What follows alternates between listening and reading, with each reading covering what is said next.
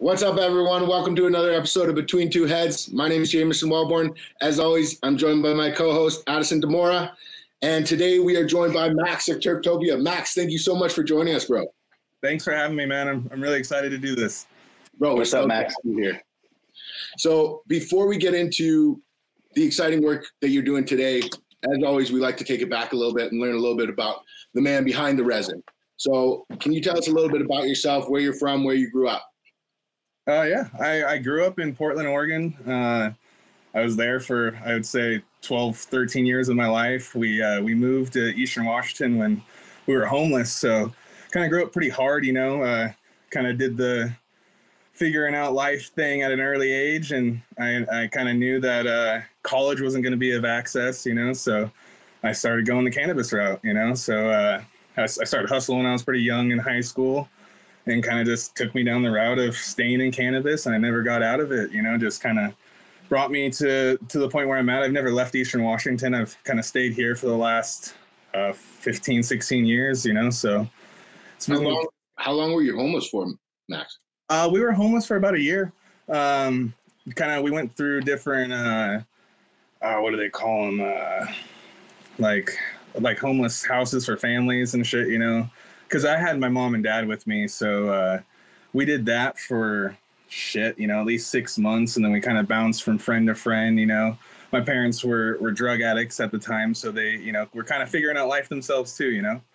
So uh, as they brought us up to Eastern Washington, where we had one, I had a grandma up here, you know, so that was kind of like the only like outlet we had for family. So when I came up here, it was just like uh, it was different, you know, because I came from a place that had culture, a lot of different like things going on, you know, just it was it was just different, a bigger city, and I, I went to the, you know, st- pretty much sticks, you know, like where I'm at in uh, in Eastern Washington is like really really rural. It's it's really low key. There's really not much going on, you know. It's it's one of the biggest cities, but as I would say, as far as cannabis goes, like we really kind of keep our head down and we kind of just grind it out, you know. So what were what were the your early experiences or what was your early perception of cannabis like? Like you know growing up in a household where parents have substance abuse problems sometimes the kids tend to maybe group cannabis in with all those other drugs and, and take a really negative look at it. How did how did that work for you? So for me i was always around cannabis. So like my parents were were also cannabis users you know but they you know my dad was in and out of jail, so it was kind of you know more apparent like he was doing more than cannabis, you know. So like it, as we got older, because uh, I have an older brother, uh, a half brother, same mom, different dads. Uh, as we got older, me and my brother just kind of chopped it up as you know what they were doing was dope, you know, and what you know what cannabis was cannabis, you know, and, and mm-hmm. my my parents got it was really apparent, you know, because they use cannabis as as a, a, a crutch to kind of stay, you know, away from everything, especially moving to a place they didn't know anybody where they could have went and fucked up pretty easy, you know, like, mm-hmm. you know, so like, uh, for me, like I, I never saw it as like a, I need to stray away from it type of thing. Like I saw it as, uh, it was in front of me. My parents were, were, they didn't hide it, you know, like, like they smoked weed in the car and shit like that, you know? So like, I remember being a kid and like in our household it wasn't like you were allowed just to smoke you know? Like when my parents got their shit together it was you know they they had a pretty strong household you know? Like i couldn't smoke when i was uh, under 18 and shit. i did you know? But like they you know i wasn't in their household fucking you know in the room next door blowing down fucking bong rips and shit you know as much as I would like to, you know, that's why I moved out. Uh, I moved out my senior year, you know, just for that reason, so I could get out and do shit like that, you know. So, and how, how, long did it? Oh, sorry. How go long ahead, did it ahead. take? I was just wondering more about like your parents in that situation. Um, how long did it take for them to? Because you said they eventually got their stuff together. Um, how long did that take? Was that like a a short period, or was it kind of? And what was that like? Did they did something happen? Like, what was kind of that story? When we were bouncing around in Portland, like they were already trying, you know, like, uh, and you can, you know, it, when it comes to, to being an addict, you know, and being, uh, going to jail, you can only try so hard when you're stuck in that yeah. same circle, you know? So yeah, they're really trying. And, uh, I think they had really burned every bridge as far as family went because I was like my my older brother got to go and be with his dad's family. You know, I was stuck with my parents. Like, you know, I mm-hmm. got I had to go through all this shit. I stood in soup lines the whole night. like it was, you know, it definitely was. It's pretty crazy, you know. So like to see them stuck there, and then my my mom had a her her mom here, my grandma. So like they just went for it, and as soon as we got here, they were honestly, I, you know, I didn't see any kind of you know drug activity that they would do like that. You know, we were honestly a pretty straight family. Like as soon as we got to Washington, you know? that's cool. That's good. That's good to hear because it's always one of those things like I and the reason I ask is because I I had sort of the same you know upbringing, um, not the homelessness and stuff, but definitely had you know my mom was was wild and crazy and and sort of dealt with that, but it was uh, um, the hard drugs and all that stuff. I know that that makes it really tough. Like it makes it so hard to to even sort of and, and when you're a kid you don't really know but just for getting your shit together you think not a lot of like functional you know, heavy drugs. Well, you think you know, you know, and, that, and that's the crazy yeah. part about it is like growing up is like I thought I I thought I had it understood that you know, and seeing they were just growing up themselves, you know, like it, yeah. it's, it's trippy as it is, like you, you don't ever think about that process, but like you know, your parents are, you know, they're we all grow up every day, you know, so oh. to see them. It, it is you know it's just like a happy moment for me as an adult you know i'm like that you know they have their shit together they have i have a little brother too so it's you know they've they've done great know, they've done great in life. Since, you know, it was just a it was a different upbringing. You know, like especially coming to a place where, at the time, uh, you know, this town didn't have a whole lot of uh, I would say culture. Like there wasn't a whole lot of kids like me that uh, talked with you know I got called a wigger a lot stuff like that. You know, just had more like slang you know and stuff like that in their mm-hmm. in their vocabulary at a young age too, you know. So like yeah. it was just weird. Like kids were allowed when I was in middle school to come to school with pocket knives and have two in their back pocket and shit, you know. Like it was it was a trip, you know. And I went from searched in metal detector to that. You know? It was like, yeah. what the fuck is this? This is a crazy difference of life, you know. So well, like what were the what was the first experience with cannabis? Like do you have a, a memory of your first interaction with the plant? Oh yeah. So like my parents being you know smokers as it was like they always they would smoke in their bedroom to be like uh I'd say respectful to not smoke the whole house up and shit like that. You know, at night my dad would occasionally sit on the couch and smoke and shit like that, but they would leave all their shit in their bedroom. So, you know, I had the tons of opportunities to to hey, I'm I'm sick, I'm staying home for school, or they'd go real quick and I'd sneak in the room, you know, rip a bong rip down or whatever. And I didn't even know what I was doing. I was scraping resin and shit before I even knew that was like what you were supposed to do. I was just like, okay, this is right here. I could throw this in the bowl and get, you know, smoke it potentially, you know? But my first time was definitely like, I remember my dad got a, uh, just had, went and got a bag. He was, they were smoking. They left to go get his food. And I snuck in there. I was, I want to say eighth grade. That was eighth grade summer.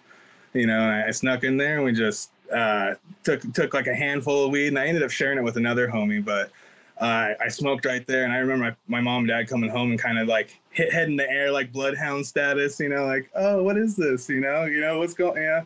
And that was the funniest part is growing up in there, like they, I would steal cannabis from them, or, or, you know, they always smoked pot. They never had hash or anything when I was a kid, you know, like they're mainly like joint and uh, bong smokers. They smoked, you know, yeah tiny bong like this tall and just rip bong rips, you know, type shit. So it was funny. I would take, you know, their little bit of weed and they would fight with each other over it. They'd be like, "Oh, you, you stole it," you know, or and shit like that, you know. So that was a really, looking back now, a funny thing to me because I'm like, that would suck getting your head stash stolen, you know, and you don't know who's doing it.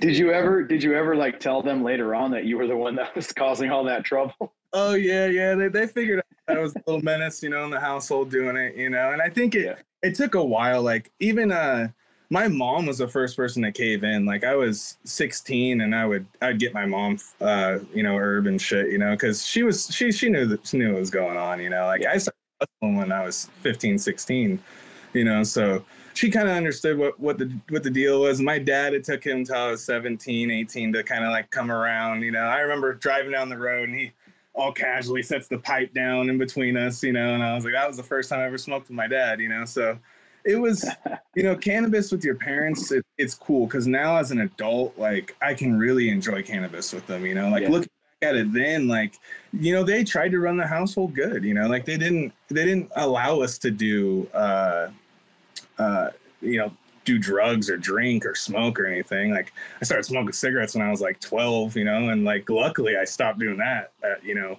after, you know, five, six years or whatever it was, you know, but like just shit like you just start things early when you go from a, a I, I think a bigger a vibe to a smaller town, you know, like I was just in so exposed to so much more, you know, so and then I got to an area where I could do way more, like at all times. Like I wasn't afraid to walk outside at night. You know, it was, you know, like it, it was it's just different. You know, like I could go anywhere I wanted uh, in this town uh, and not feel scared because you're not gonna get like fucked with by a homeless person or you know some random fucking you know some something random. You know, so like the it just changed a lot when we came to Eastern Washington, like a lot.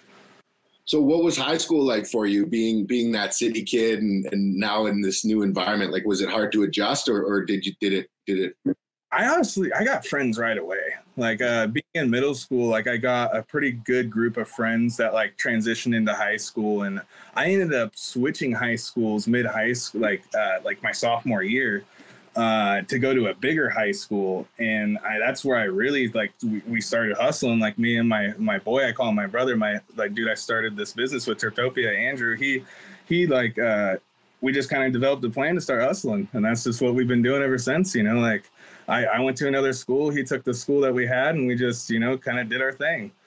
You know, so it was uh, in high school it was an easy transition because everybody wants to be your friend when you got when you got bags you know like it's it's, it's a gig you know you, you, pull up to a party you know everyone it's it's it's a it's a fun time you know For so, sure. Like, high school was easy and i love sports too so like uh i did i played sports and shit so like i wasn't i wasn't like a a loner because i came from a different uh, city by any means or anything like that you know like i had tons of friends like out here it's it's kind of crazy because like I, I, didn't get a chance to like go back to portland too much and like do things while i was in high school like i'd do it in summertime and go see family but like uh, as far as friends go like i mainly like grew up with friends up, up here so like a lot of it was like in the summer bonfire parties and shit like that like they you know they're hicks you know so it's it's a yeah. different a different vibe you know big old fucking house parties and it's just you know that's what high school was you know it was uh uh, uh, a crazy moment, you know.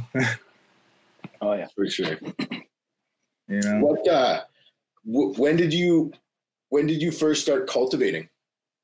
Um, so my boy Andrew, we moved out when we were set our senior year. So uh, he had actually turned 18 I was still 17 at the moment. And we got a little trailer that we had moved into and we've been living in it for a minute and his cousin had brought back some beans from Canada, some lemon skunk, and they popped those. And when he, my boy moved out, he set me up with just a little 1,000 little HPS in my closet. You know, we that's I had something going at my spot, he had something going at his spot. You know, so like I was you know 18, 17, 18. You know, like right you know right then and there, like. uh and we had uh I think I can't even remember all the strains back then, but you know, lemon skunk, white widow.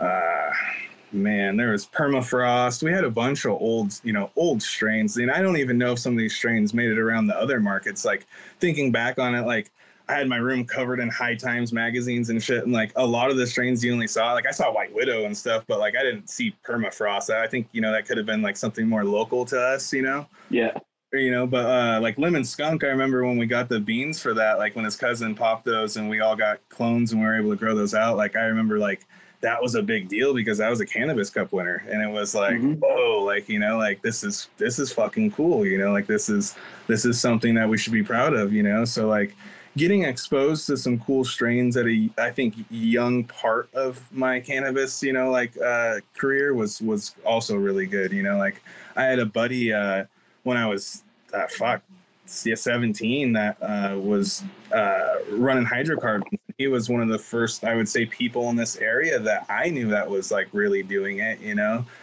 And he had so many strains. He was always buying stuff out of uh, High Times, and just it, it was it was a trip to see it, you know. Like I was I was tripped out. That dude was buying, you know, thousand dollars worth of seeds through a magazine, you know, sending money orders through a magazine, and to see uh, like I would say a library like that at a young age, like I think more or less exposed us to like want to grow different pot, you know, early mm-hmm. on. Yeah, we just do what possible.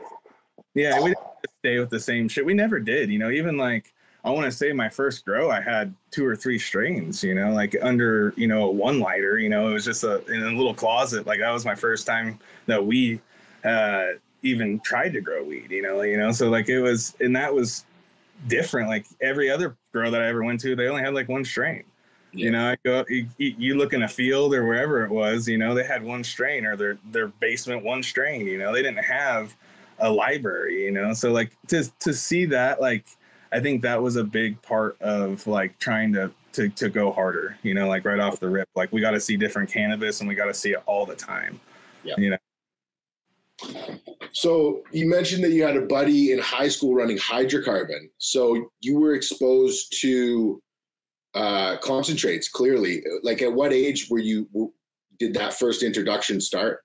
Oh, whoa. So we smoked hash when I was like, I want to say 15, 16 off a metal swing, little TI swing with the, the glass hood. Like that was the first time I ever, I would say dabbed, but like uh, hydrocarbon extracts, yeah, like 17, 18. Like I had a buddy who was open blasting and, you know, they, uh, he actually got a, uh, what the fuck are those things called? They used to sell them in the back of high times. It was, uh, honeybee. Yeah, maybe it was a honey. Was, What'd you say? Is it a busy bee or a honey bee? No, it was it was something that you would like run like herbs and spices with. Like it was like a super. It's the isolator extractor. Is that what it was? Like that weird one that had like the two no, no, down with the thing. And butane through. You ran butane through it. It was. Oh uh, shit. Yeah, it, it, had it in the back, and it was like he spent like 16, 1700 bucks on this thing, and we would run it in his kitchen. Super sketchy. It had an outlet fucking line, and you would put it out there, and like like the guy was older than me. He was heck, I want to say 25, 26 when I was, you know, 17, 18. So a little older, a little bit more into it, you know. And dumbasses would be smoking cigarettes and shit in there while we're open blasting, you know, with this little it I can't I can't think of the life for me what it was. It was all stainless though. It was pretty cool for the time. Little tiny small thing. You could put probably a quarter, half ounce of uh, you know, trim and, and bud and larf and shit in there, you know. But I always remember it'd come out like Hershey syrup, black just black. We weren't purging it or nothing. Just the, the darkest stuff. Uh, he would always, when we'd run it and make it, he'd always have like the randomest containers, whether it's like an Altoids container or some random shit to put it in. You know, like it was so like young, like nobody was doing this. Yeah, you couldn't go to the store and even get gear to smoke the shit. Like you, like the I remember the first store that had it was a Chinese shop here, and they had not, like little tiny glass nails with the the domes and shit and that was like the first spot that had it you know and like you mm-hmm. fucking 20 nails to get you know everyone high and that was that you know like um but yeah that was that was a trip you know being young and seeing uh hydrocarbons like right away like i kind of knew that was the wave right off the rip like knowing that yeah. you take one dab and not have to smoke a stack to be stoned was, you know, uh, a change. You know, it was going to change the market. Yeah. So, like, I, it, kind of right off the rip, I started uh, more or less going towards, I would say, the hydrocarbon or like concentrate route, like early on. You know, like we had, ex, you know, experienced and like messed with bubble bags and stuff when we were younger, but like smoking green hash was not fun. You know, like, no. I would say not smoking like dark Hershey syrup BHO is not fun either. But you know, as, as time goes on, like some things would have flavor. You know, like I remember the first time we even open blasted fresh frozen. You know, froze the whole tube and got like maybe a gram out of it. You know, and it it, it, it was just different. You know, they, like you could see the like cannabis changing and the scene changing like right in front of my eyes, and that was.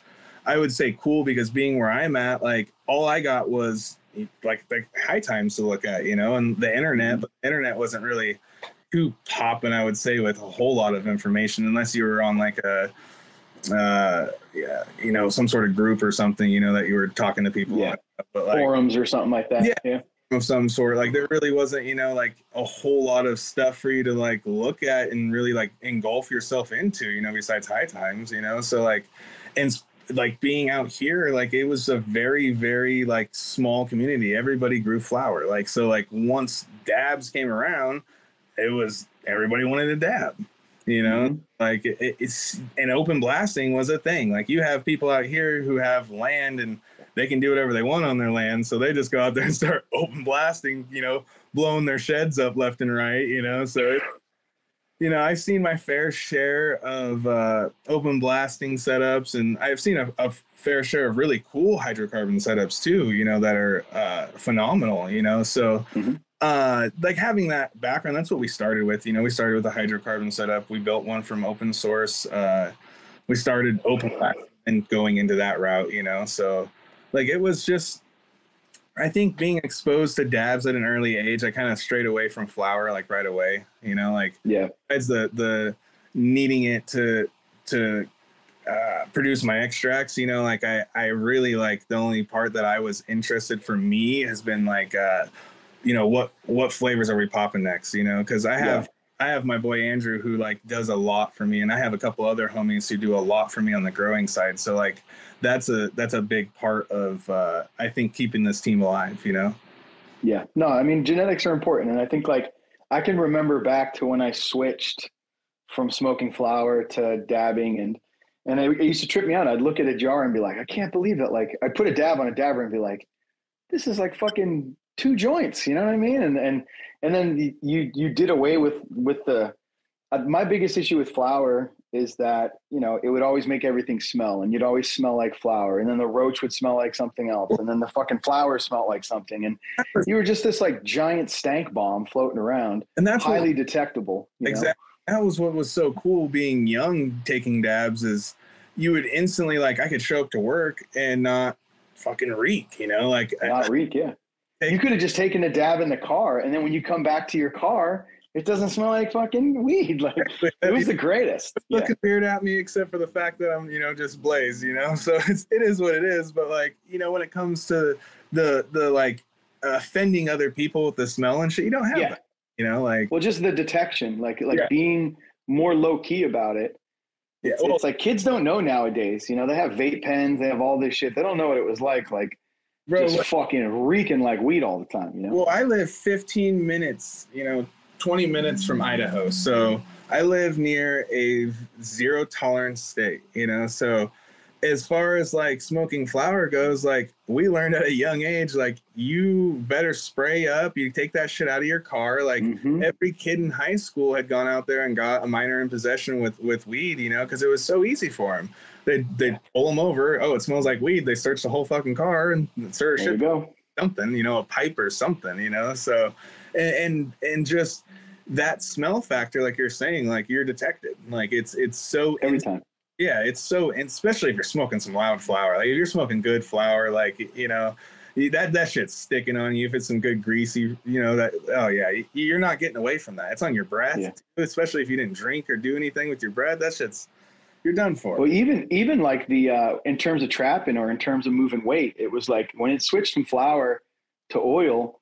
Uh, oh, yeah. You know, for it, it was well, such a fucking from, easier job. Like you go from a big amount to a small amount. Yeah, you know, it's well it's, the big the biggest issue with the oil was getting the money back because that was like your problem because getting everything there, doing it is dude. I'd have TSA take fucking jars out of my bag or just slabs and be like, "Oh, put these aside. What's what is this bottle of juice?" You're like, "Oh, my bad," and they fucking put the slabs. It, was yeah. When that shit shifted. You're like, is that yeah. no, orange juice? That's a no no. Oh, I remember them. I remember one time I had Diamond Baron, these jars of Diamond Baron, and the dude's like, "What's this?" And I'm like, "It's uh face scrub." Oh. And he's oh. like, "Face scrub, huh?" And I'm like, "Yeah, it's face scrub." And he's like, "Okay." And he's like, "Well, the sheriff's going to be here in a minute." And I'm like, "All right." So I'm waiting and waiting, and the sheriff like is late or not coming, and the dude's finally just like, "You know what, bro? I know this isn't face scrub, but I don't have time to deal with this right now. So you could just take this. And I was like, dude, it's face scrub. You could try some if you want. Fucking just right. put it in my shit and bounce the fuck out. Like either that up, bud. yeah. I would have been tripped out if he started rubbing diamonds on his face, but hey.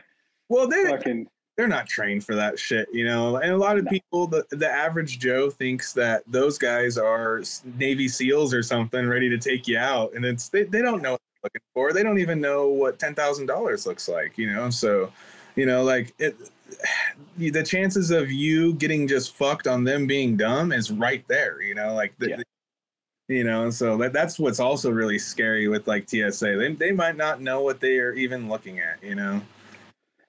A lot of time they don't, man. There's ways to move things around that even those guys have a hard time detecting. It's like, you know, it's and, and it's but at the same time, their job is to look for bombs. It's not to look for the bombs, bomb. So bombs, guns and large amounts of money.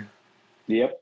Yep. Right. That's and the large amount of money is pretty funny because technically you can fly anywhere in the US with any amount of money you actually want. You just can't leave the country with more than ten thousand. But anyway, asset forfeiture aside, let's continue the conversation. But what they are, they get people because they don't know. You know that that that's the craziest part. Like, yeah, it's yeah, it's you gotta knowledge is power. Well, TSA now is pretty chill. It seems like anywhere you go, I fly everywhere the same way, in and out, and it, and it's just you know I'm not really. I don't really feel like there's nothing that I can't talk my way out of when it comes to cannabis. It's like I don't have other you know, I don't have fucking DMT vape pens in my bag or any weird shit like that. And I'm not in Russia, um, but it, it, seems pretty easy now to kind of get around. But so mo- moving forward, um, it sounds like you're at this point, you're, your guys are open blasting. You guys might be open blasting. And is that when you start Terrptopia and you guys started with BHO? Um, so no, honestly, I started, uh, Terrptopia a little later on after that, you know, so okay. we were more. Did you guys have a brand? No, so like that was that's the thing is where like where I was, it's so it was so dead, man. Like there wasn't like the market out here is just smoking. You know, like people just smoke, you know? So like the there was no branding. Like I was uh like I want to say fuck 20 years old when I, I started hitting different events and started really seeing what could be done with cannabis. You know, like mm-hmm. I went to uh, Emerald. I went to you know uh, uh, the Dope Cup that they had out here way back in the day. Like uh, yeah. uh, I just just random things, you know. And I want to say like just seeing the branding in front of me, you know, and like already being a, a hustler, like I kind of knew that's where it was headed. You know, like I, I just kind of mm-hmm. like seeing it uh, put in front of me so much and seeing how I would say professional it was. You know, like our medical market in Washington, we had a couple cool, really cool brands, you know, like that were, I would say, more inspirational for like starting the branding too would, would be like, you know, refine, you know, extract oh, yeah. that, that would, they had all their shatter and cool little jars with the strains on them. And they had all different look for each one. And you could pull up to, uh, like two two dispos in my town, but like for Washington as a whole, like you could pull up to anywhere in Seattle and you could get you know, refine. And that was yeah. kind of the move, you know, like there really wasn't a whole lot of hash in, in dispos or, or the farmers markets per se, like, you know, like the, and if it was, it wasn't anything desirable, you know, like, no, I want to say the, the, the best and like first hash that I was, that I was really, really intrigued by, and it was dry sift was, uh, Exotic Genetix Mike, uh, with his CNC out here. He was putting out a bunch of full melt out here way back, you know, 10, yeah. 10 plus years ago, you know, and they would, and that was just kind of like the thing, like you'd have to go uh, to dispos to kind of like get something that was worth desire, you know, like the, our medical market was strong and they shit on it. You know, when they when they went to rec, you know, 502, they pretty much just shit the, you know, sh- they took a lot of people's soul away that were in it, you know. So yeah. and being out where I'm at, you know, in Eastern Washington, like a lot of these guys like they already were kind of tired, you know. So like getting yeah. kicked down one more step, you know, was it was even worse, you know. So branding, I I kind of saw that like at a young age, knowing that that was the route, you know. And I branded the first time 2017 at Chalice. Uh, I came up with uh, Terrptopia, and uh, it was earlier on in that year, maybe even later 2016 and uh, just kind of was running with it. And we were starting to fuck with hash, and I took our f- some uh, first presses down there, and I went to two tables and sold out. You know, and like that was I had black and white stickers, Manila envelopes. You know, like mm-hmm. you know old school style. You know, like like easy peasy. It was you know, and I remember I was so dumb. I I went to a booth and I sold it for I want to say it was fifty or sixty a gram or whatever, and the the kid looked at me and he he had just got done selling me hash for whatever it was, like eighty or ninety dollars. I had bought in like uh, Trichrome Heavy and a couple other yep. guys that I really like looked up to, you know. And uh, I had I had pulled out some shit and I show him and it was like a cherry pie cross, and I show him it, and he was like, "Oh, this you?" And I was like, "Yeah." He's like, "I'll take all of it." I was like, "Tight." So him and the table next to him, they just bought me out right there. The first 20, 30 minutes, I was in the gate of Chalice. You know, so sold out. That's so dope. Yeah, and so like that was really where I was like, "Yo, this is it." Like the branding, like like I'm onto something. Like you know, like I granted it was nothing. It was just a black and white sticker. We didn't even do anything like cool uh, but just having it like that and not showing up with a Tupperware or a pizza box or whatever the fuck mm-hmm. Cool at the time or relevant at the time, you know, for slabs and shit like that or rosin or hash, uh, was just more professional. You know, like having that just more desired look to the consumer. Like it, it, it hit me in my brain right there that I was like, okay, mm-hmm. you know.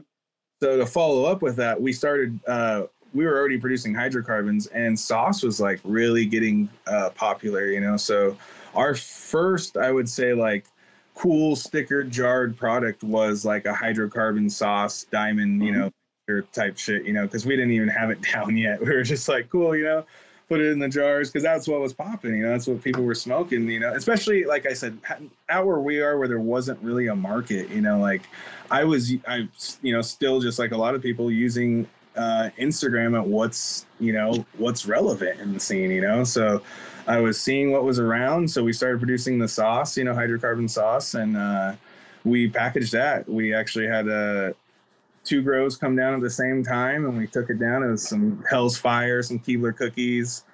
Um, I don't want to say like GG4 or maybe something else and that's what we took and uh, just seeing it like you know packaged in front of me with the strains and the the colored stickers and everything like that was just more more fire you know like it was just more fire mm-hmm. to keep going and doing more with it you know and uh, as the market changed like we dropped we like we don't do any hydrocarbons anymore like you know so as the market changed we just kind of stuck with learning and and uh, doing more with hash. You know, like that's uh, I was always kind of more passionate on smoking hash over the hydrocarbons. So me and my my boy Andrew, we'd always have little you know tiffs and arguments about that shit. You know, so it's kind of funny because now fast forward, you know he. He don't even want to smoke that shit, you know. so it's like, you know, he has the machine. He can go and blast whenever he wants, but you know, he don't he's not you know trying to smoke slabs or, or, or diamonds or anything like that you know so it's, it's kind of crazy how how the market changes and you kind of just got to go with it you know if you're smart you go with it and adapt and see the future you know and i think i've done a decent job of trying to project what's going on in the future for our brand you know like i just I, we're small. We're you know like a lot of people think we're this big ass brand, you know, and we're we're really not. It's it's it's small team, and we just we work, and I, I kind of just see what's trending and I try and go with whatever's in the market and, and keep keep pushing, you know. For sure. Let's take it back a little bit. And, and when was the first time you saw or heard about rosin? Like, was it from Phil at Soil Grown? Was it the video that got put out, or? Definitely. Like yeah. uh, seeing uh, the Soil Grown and like seeing uh, the first like presses, like seeing people do like hair straighteners and shit. Like, like that was like all so new. So like like we rushed out and either made hash or went and bought whoever had hash around at the time and tried to emulate it like right away, you know? So like I don't know the exact year or anything, but I was doing it as these guys were, you know, I was piggybacking these guys definitely, you know, like especially and that's what Washington does. You know, I don't give a fuck what anybody says. Like there you can be creative out here for sure but a lot of what we do relies on California and these bigger markets because we have to kind of piggyback on what trends, you know, like if it and if you don't you're kind of wasting time you know like you can do your own thing for sure. Like you can do your own thing. But if you don't kind of do what's trending in these bigger markets you're just going to get left behind you know? So uh, definitely seeing rosin and seeing soil grown and seeing uh, a lot of the hashers around the country start uh, producing rosin was uh, very inspirational to to get going you know? Like uh, we started with the hair straightener, moved into an arbor press, you know, so that was, you know, a little arbor ball bearing press with two plates that I ordered from uh, mash.com, you know, so that, you know, it's it, to, to early onset of like pressing hash and like messing with hash. Like I said, we met, we made hash when we were 15, 16 years old, making green pucks of bullshit, you know, and like, I've always stuck on knowledge. So like seeing it change over time, I've been a big advocate in my circle to to start producing clean hash and making better hash and stuff. So like at first a lot of guys around us didn't see the the significance of it, I would say, you know, like uh, where we were going, why it was hash, you know, and stuff, but I would say a lot of those guys now, or you know, they understand it. You know, it, it makes total sense to I think everybody. You know, like why you would want to grow for hash or produce hash in some way or some form. You know, because uh, you know, and hydrocarbons have their their place. A good hydrocarbon's great. You know, I I have no problem with it. It's just selling point of telling someone that it's made with water and and, and heat and pressure is uh, a lot better than trying to tell somebody this came out of uh, a tank of gas you know? You know that we distilled and blah blah blah blah blah you know? Like it's you know and you can make very clean hydrocarbons. I have no like i said there's there's not a problem with that. It's just when it comes down to giving your consumers and your friends a product what do you want to give them? You know so you worked with a lot of cured material in in in the wash bin prior to working early on. Oh yeah. yeah. Once you made that switch to fresh frozen, did you ever look back? Did you ever try stuff no. out cured, or, or was it a complete switch? And what's that's what's crazy. We've honestly, me and my boy Andy, we've been talking a lot about trying to get back. And like I talk about this with another homie of mine, like trying to like uh maybe start washing some uh cured flour because I see people doing it, like Jay the plant speaker and some of these other guys that solely rely on washing cured flour, you know, uh, doing great and the stuff looks great. And I, I imagine, you know, a lot of the flavor and the effects that you're getting are completely different than fresh frozen. You know, like I haven't got to smoke a whole lot of cured hash that, of my knowledge because, you know, people probably aren't honest with what they're putting on the label.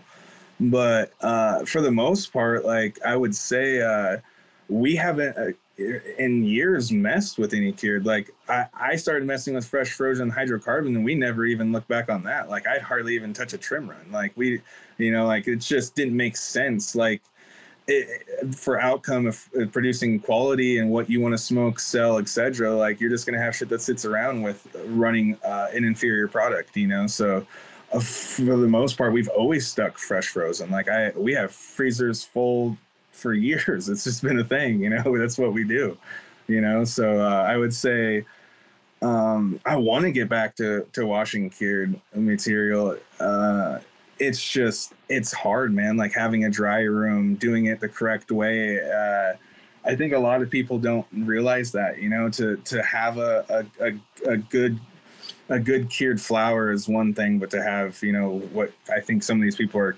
curing and washing is is you know is bullshit. You know. Uh, but yeah, I, have seen some people wash some really nice flour that's cured, and I'm like, God damn, you know, like straight out of the turkey bag, they start washing it, you know. So uh, it, it's just, I, I, think for us, I, I, want to get back to it. It's just like I said, we don't have a, a dry room at the moment for something like that to to to go and pull multiple rooms and really do it, you know, like we would want to. So I, I haven't been able to do it like that again. Word. Where do you uh, where do you sit with the melt versus rosin debate? Are you uh, are you do you dip on one side more than the other, or are you an omnivore? Uh, so, I so me personally, I would say I I understand the debate, the hundred percent of why you would want one over the other, why you would say one or the other. For me and for our our uh, brand, I would say we produce mainly rosin for what the market re- reflects. You know, if we could, and not just that. Uh, I, let me backtrack a little bit. A lot of strains do not produce full melt, and I don't. And there's so many people out here that are, uh, pro, you know, uh, packaging shit that isn't a full melt. You know, like it's just because it's 90, 120 U first wash. You know, like as soon as that shit hits the nail, it tells it. You know, it's the judge. You know, it tells you. You know, so I think, and, and, then you see it in rosin. You see these people saying 90, 120U, full melt, first press. You know, they, they could put whatever they want on the thing, but a lot of strains do not produce a full melt trichome. They do not. Like, at the end of the day, you get done. Some things do not produce that melt. Like they do not have a good melt. Like it's you can go through any of the the bags. Like you can go 70, 90, 120. Uh, different cultivars. You can go to you know whatever. Like some of these strains do not produce it. You know, so I think for us, we produce a lot of rosin based off of the strains that I've been able to go and wash. You know. Um, because I've seen great hash, and I do not want to put out hash that isn't Aquafina in the nail. You know, I want that.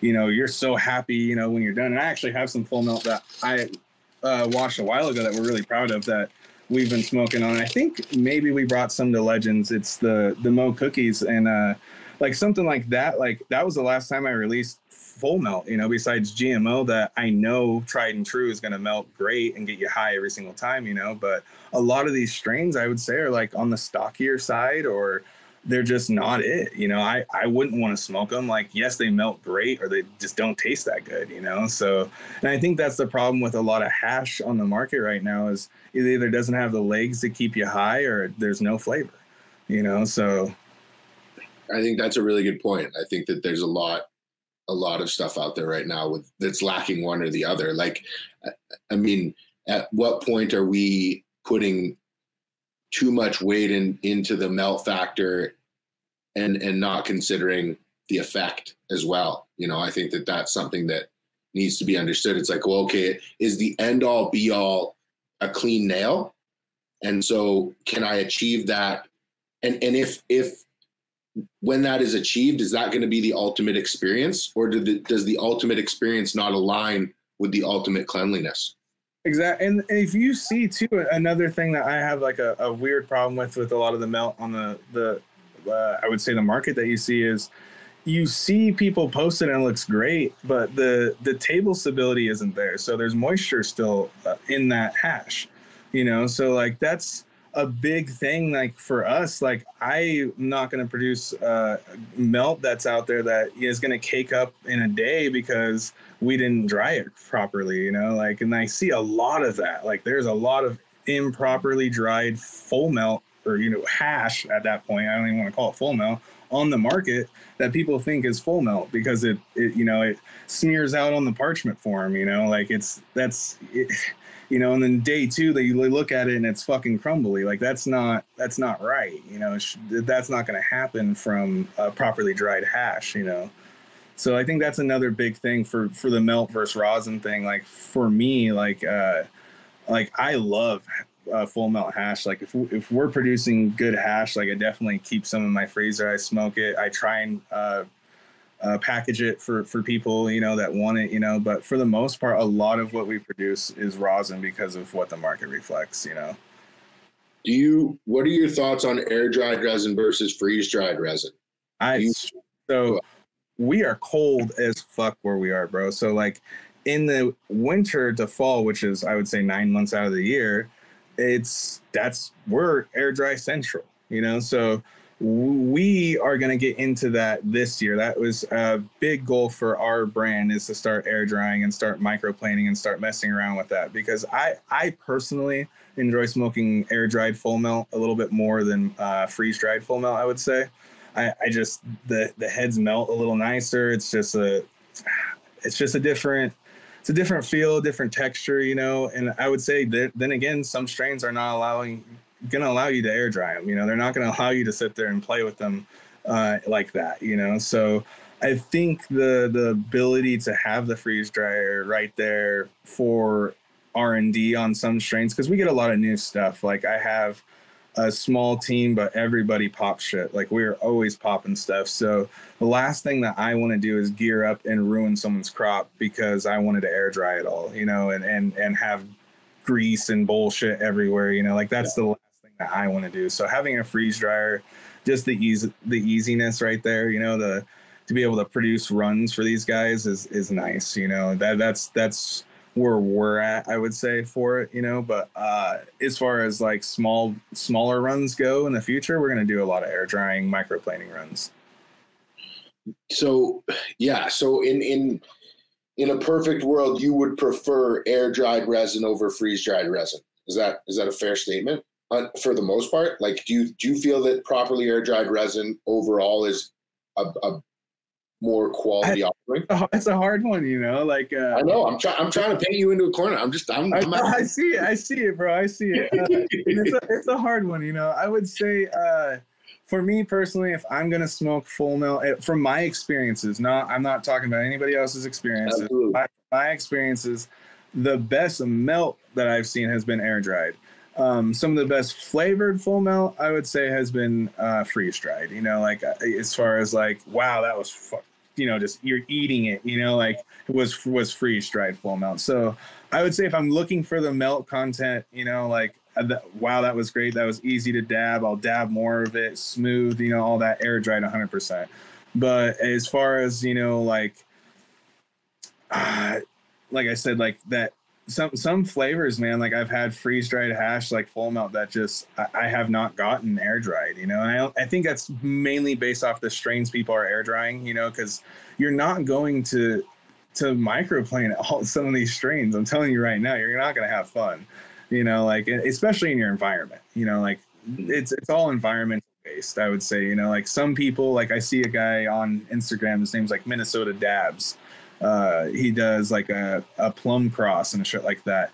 Like like those guys like it's cold out there. Like you know like the, it's cold all the time. So doing you know getting to play with like shit like that he's probably a little bit more able to to air dry and play like that you know? So like that's why i i, I even brought it up is like nine we have nine months of cold weather. So i just want to do it as like a as a more uh uh, hobbyist thing, you know, something to do like that's fun for us, you know, like you know like it, hash has got to be fun cannabis has got to be fun at the end of the day. That's why we like to produce flavor that's why we're always popping different flavors because if you were to just grow one thing you're going to be so bored man like and do one thing you're going to be bored. Like that's why for a while we did hydrocarbon and hash because it was just it was fun. Like it was fun to have a representation of uh your homies favorite cultivar in in hash, rosin, and diamonds. You know, that was really cool to, to give people. You know, like that's that was a cool experience. You know, so like for us, it's a, it's it's trying to have fun and and be smart and and still produce cool shit. You know. You you mentioned uh, microplaning a couple times. Do you also sieve or do you prefer yes. Microplaning? I like so some of the strains you can definitely get away with with wet sieving or cold sieving, you know, but I would, you know, as far as like what we've done, I I've microplaned a lot more than than uh, wet sieved and shit like that, just based off of the environment that we have set up, you know. And our room now, I would say, is going to be great for for wet sieving uh, and doing all all that, you know. So like, I'm really excited to do more air drying this year uh, and just getting back to to different styles of hashing, you know, because we've been so stuck with just using the the Harvest Right that like we haven't even played in a while, you know. Like I feel like that's a big part of hashing. Sometimes is playing. Yeah. What What do you guys typically run your shelf temperatures at? Uh, 50 degrees, 40 to 50 degrees. Yeah, I think there's a lot of guys like playing with lowering that shelf temperature and finding that sweet spot between you so, know what's viable commercially and and what makes sense. And that's the thing; it's all about your your size of your runs. You know, most of, we try we try to fill our trays, so like 40 to 50 degrees gets us a a a, dried product in a reasonable time. You know, that's yeah. not taking you know. So um, I, we've definitely we've rocked it colder. We've got we've gone down to the tens, twenty. Some strains, I would say, like I want to eventually, you know, like like we're like I said, we're small, man. If I had more freeze dryers, uh, more time, obviously, uh, I would set up each one at its own parameters for for each run. You know, like honestly, because some of these strains we've got to do a few times now, so it's it's not just uh, plug and play as far as you know we're just gonna fill everything. We do sometimes, but like sometimes you know like like the Karate Kid we just ran. That shit's so greasy. You want to rock it a little lower, like you know that. Especially being hotter outside where we're at too. Our room's struggling a little bit uh, to get as cold as it normally does in the winter. You know, because we're in a high desert. It's like a high desert wasteland they call it or some bullshit. So we're getting up to that mid 90, 90 degrees. So you know, to keep the the cold room cold is an extra step. You know, like yeah, to keep everything going. You know, so I would say like some of these strains like totally like rocking uh, lower shelf temps and playing with your dry times is everything. And that's what i was talking about with producing full melt that has moisture in it. There's a lot of that out there right now because some of these guys are are staying so low in their temperatures and then they're pulling them out. And yes you can you know sieve through but there's clearly moisture. You can you know like I do it, you know, we do it all the time where you, you get done and you can see it, you know, there's, there's moisture still present in the hash, you know, so it's, it's, mm-hmm you got to run another batch real quick and dry it longer, you know, and that's no one wants to do that. So like for us, a lot of the parameters have been that 40, 50 degrees, you know, on, on the freeze dryer. 100%. Are you seeing popularity in fresh press the same way that where it's being showcased in the California market, in your market? I'm so that's that's what's crazy is like where I'm at is slow, you know. So I don't reflect my market too hard like Eastern Washington. Like I more or less this is where we reside and I work off of the other markets, you know. So I like I said, I try and do things that uh reflect what's going on in those markets and trying there. Like I honestly just packaged the other day some fresh press because I've been seeing what you just said. You know, it's getting people are wanting to do that more. They want fresh press. They want to cure it themselves, or they want ability just to smoke these these strains in fresh press. And that's what I, I was talking about. Having the different forms, like that's cool. Like having a cold cure, having a fresh press of all these strains. When you have the same strain in front of you, it showcases that strain to its fullest so for for us like uh having um to produce fresh press is like i would say still another like run dependent thing. Like some things you press you can instantly see that they want to nucleate and butter out. Like i wouldn't want to give that to somebody in a jar as a fresh press so i obviously cold cure those you know?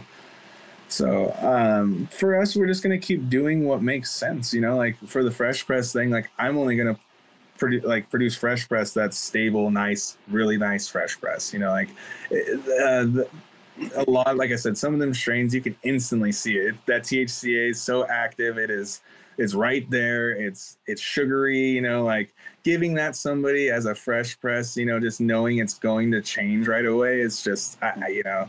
So I think we're going to see a lot of that again. We're going to see a lot of biscuit, that dry biscuit rosin on the market, and people will want cold cure again. You know, so because people they are abusive with their hash. They get in a car with five fucking jars and they, they forget about it and then they're at a homie's house and they get back out, you know. And next thing you know, it's not fresh press anymore, you know. Like, no. like that's that's the the shittiest thing about I would say a lot of fresh press, depending on the strain, is its shelf life of being a stable fresh press. You know, so um, I think the the market's always in need of different. Uh, uh, I would say textures or whatever it is, you know, uh, different substances. Like they're the they're always going to be into something new, you know, and especially right now with hash being so like people are just circling back to what's old, you know. So like yeah. it, there's nothing new, so they're like, cool, let's get back to what we know, fresh press, you know. So it's it, it's kind of funny how it works, but that's I feel like that's kind of what any market does, you know, any industry does, you know, when there's nothing new, they circle back to what's old. Yeah, yeah they bring it back, bring bring back some nostalgic shit, and and and people like it. It's it's cycles, you know, everything's in cycles, and it's going to be. I think it's going to continue to be that way as you see different equipment come on board and things can be advanced in different ways, and you know, you, th- things will progress always. But at the same time, I think that um, think- nevertheless, you're always gonna. It, it's always, it's always like regional too, right? Like, you know, that there's certain groups of people that have a shitload of popularity in their region, and they may like one thing, and everyone just sort of starts following in that direction too. So it's like, or or someone's creating a lot of hype around it. I mean, that's yeah. what I love about humans. What, what, like, who's gassing what up exactly? Like, you know, that's yeah. that's, big, that's a big part of it.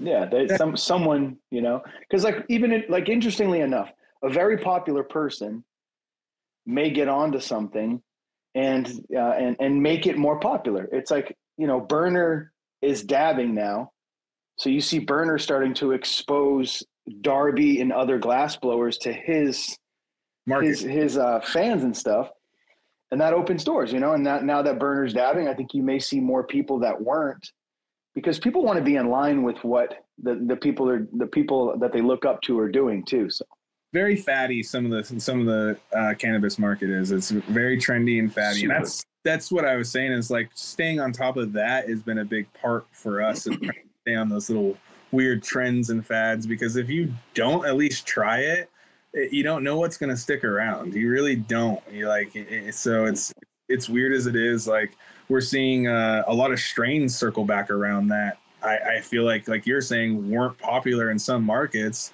and now people are growing them out and now they're popular in that mar- that that circle or and these people are gassing these certain strains up that people have already ran through in other markets you know so it's, it's so weird how some of these things get uh, circled back around to you know because we're kind of twiddling our thumbs waiting on what's new it's like like you're saying as far as equipment or you know whatever you know like we're we're all just kind of waiting, you know, like whether you're creating or you're waiting, you're you're doing one of the two, you know. yeah, that's good.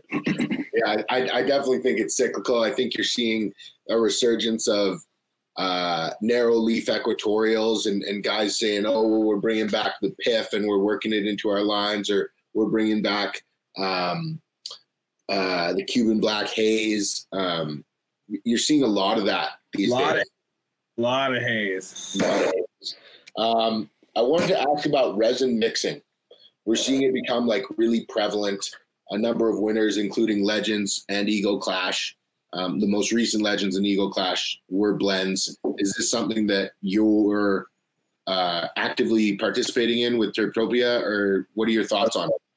I uh, right next to me, they have a big, uh, big drive Karate Kid truck guava that is a mix wash.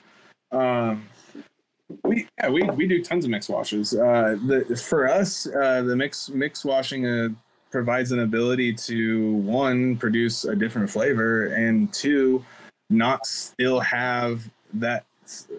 If you're if you're sick and tired of GMO, you, you sure shit you know have some of it growing, so you still want to mix wash it. You want to do something else with it, you know. To be able to provide that ability to like still produce something that is desirable, you know, is nice with the mix wash. And yeah.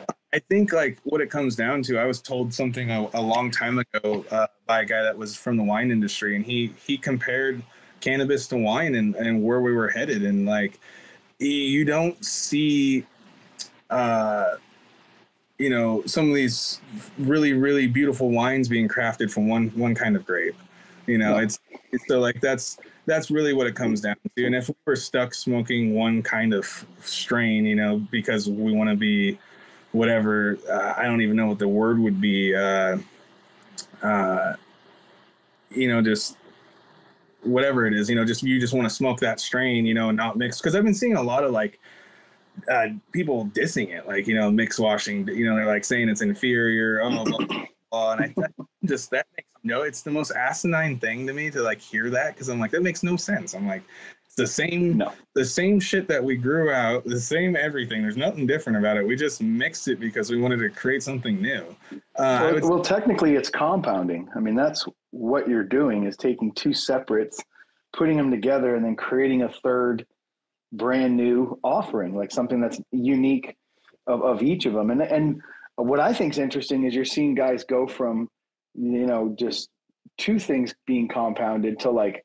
a four strains being compounded, three strains being compounded at different amounts too, you know. And but if you think about it, it's like being a chef, you know, like you guys are you guys have ingredients that happen to all be of, of the same type, but you know, you can create different things from it. So I think a lot of people don't realize that not all these strains dump.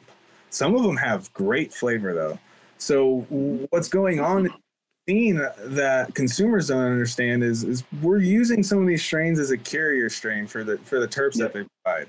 You know, so some of these strains will will provide the best terps, you know, like and mixed with something else, it might create a little bit different of a terp, but it's mm-hmm. so desired that you're not going to be able to ever taste it. You're like unless we do mix wash it, you're not going to be able to get the little fucking two ounces that are produced if we don't mix wash it with something else because it gets ran off you know like so like be, having these some of these strains as a carrier strain is awesome you know like yeah. i talked to uh, Jay, Professor Sift, when I was actually at your house about this, a lot about it. You know, and like yeah. I thought it was something that a lot of guys uh, weren't really doing. Like he, he's telling me he's keeping one to two percenters, and like for us, like I thought that was a no no. You know, like I thought I was supposed to find, you know, something that was still, you know, maybe of that gene mock up, but like something that produced a better yield. You know, but he's telling me like, yo, flat out, like we've ran, you know, whatever fifty uh, different phenos or different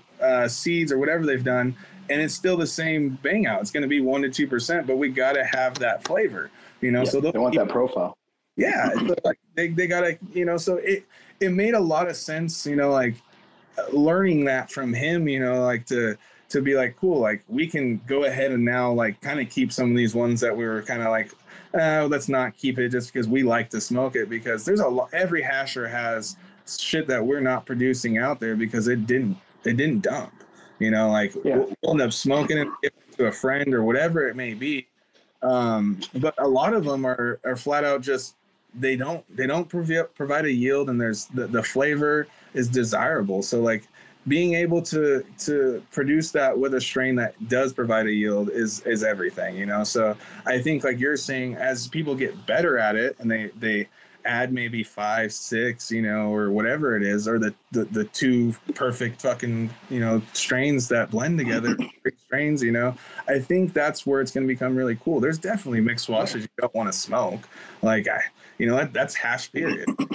There's there's yeah. hash everywhere you don't want to smoke. There's and that's because we are all picky in our own ways. You know, like there's there's hash that I don't like to smoke that we produce because that's the not my profile you know like but that doesn't mean it's bad hash you know so i think a lot of people get so quick to jump on the internet and call something bad without really like explaining themselves and then people just run with the shit you know like so like the the mixed wash being bad or inferior i think that's just like so blown out of proportion. Like people don't understand that you know? yeah, what those people don't know is that no one cares what they think anyway. Yeah. Are you, you know, are you a, are you a proponent of um, mixing the material in the wash bin for any specific reason, or in an ideal world, would you have those two separate varietals washed separately and then the rosins mixed together?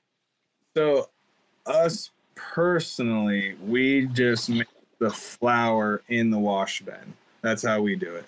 I have also used like our automated. Uh, we have like you know uh, six cubic foot washers that we'll run, and we'll we've done those where uh, they're, they're, separate. You know, each one's its own separate. But I really don't see a difference. Like you don't see much of a difference. I feel like you know, like as far as what you're gonna get final outcome if you're keeping it separate or not. You know, I I would say it would, it, it would take a lot of R and D in testing it, for for people for somebody to say there was a difference you know I, I, me personally i haven't seen a difference you know as far as flavor goes they come out the same you know uh, we stopped using a lot of our automated washers just because they're nasty I, I it's cleaning them and doing all that shit is fucking gross man like so we just stick to doing open washing we we hand wash everything for now until i can afford one of these nice stainless ones that you can keep really clean you know i just don't not really into the the plastic components anymore.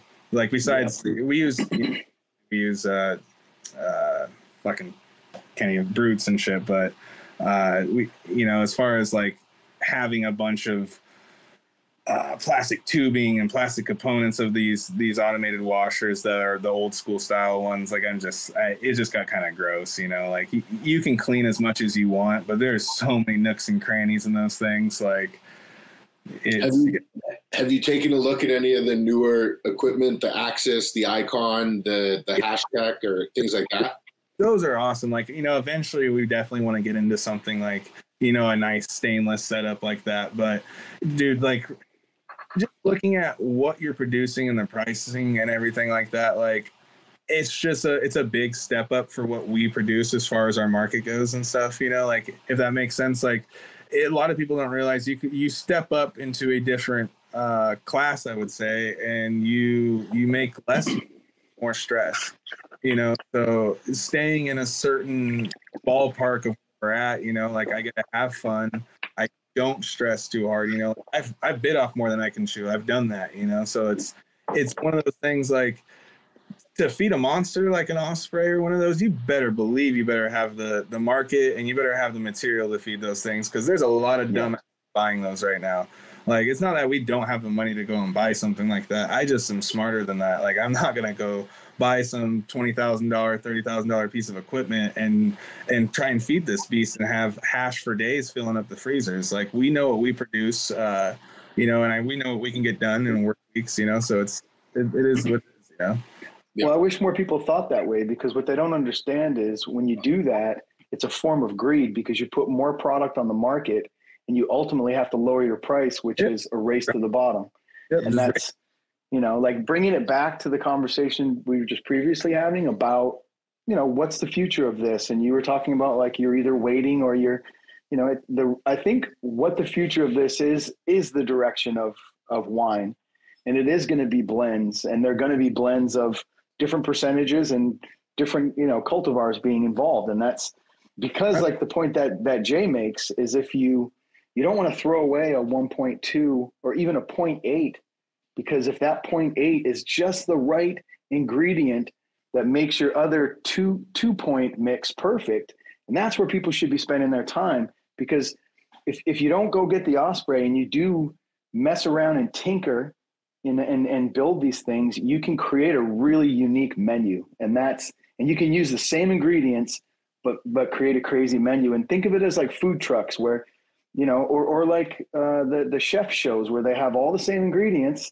and then you got to go make a different meal. And it's, that, that's where I think like the, the future of this whole thing is if you, if you want to get everyone's fucking attention, you create unique things that other people have never had before by taking what's out in front of everybody and putting them together in a different way. And that's like, True. I want to see more of that. And I want to see less of the, dude, let's fucking, you know, instead of buying some Gucci belts this month, let's go fucking buy this Osprey and then let's put produce so much fucking hash that then we have to start shipping here and start doing that. You get vulnerable and you get, and you're getting messy and you fuck up the whole market for everybody.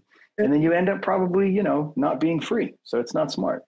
Exactly. Well, and for us, dude, like, uh, it, it kind of results back to hydrocarbons. Like my boy Andy ran the our our uh, uh, fucking closed loop for a while, and it, it, was boring.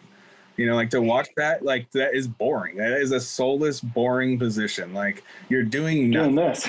Yeah, so like that's all these audit are. You're doing nothing yes, you're prepping and doing stuff in the and behind the scenes in the background while you can, you can always be doing something, but you're doing nothing, you know. So like for a work uh, like you know for a work day, like to be able to hand wash, man, like fuck, like yes, people I, I see people bitching about their backs and shit, but like we just get shit done, dude. Like we like like we just go and we bang shit out, we just get it done. Like that's that's yeah. what that's what work is. That's you know what's what we're we're meant to do is work, you know. So like well, you know, as far as like hand washing goes, like I, I feel like it makes a way happier, funner time for for more. And they're like, we're bullshitting, fun washing, you know, like if we're well, then you get some, sh- you're like, oh, you know, like your shoulders are getting jacked. Like you start looking like we just not like looking at a machine, bro. Like like that shit is boring. Like w- watching the machine, fucking, it's like okay, what? like you know, the thing just then like well, there's know, a social component to making the hash, and there's a social component to like love, bro, fucking around and having fun, and whatever music's on the on the radio or something too, you know. So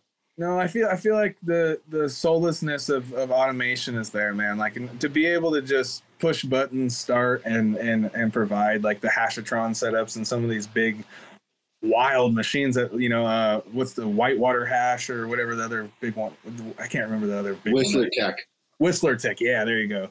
That like those they're cool. Don't get me wrong; those are fucking cool. Mm-hmm. I think the technology is cool. I think all of it's really cool. I, I just for I am as a connoisseur and a consumer and a hasher, I just I'd rather have fun with this And. I got one life. I'm trying to have fun. I'm not trying to watch a machine do all the work. Like yeah, I, would rather have some fun with it, see what each strain provides for us so I can give feedback to these guys the right way. Like that's 90% of the battle. If you don't know how these strains work and how they, what they're doing and shit, like you, are not going to help these guys at all. Like, you know, I get, I, I, you know, you tell some of these guys the percentage sway and they almost kind of laugh at you, but that's their fault. Yeah. You know, like, so like when you have a room that sways 1%, that's it's not my fault. That's the guy who's growing it, you know? So like I get to know all that, you know, based off of playing with a lot of this. Yes, you can with the big automated setup too, but it's more hands-on like, like this, you know, hand washing, playing with it,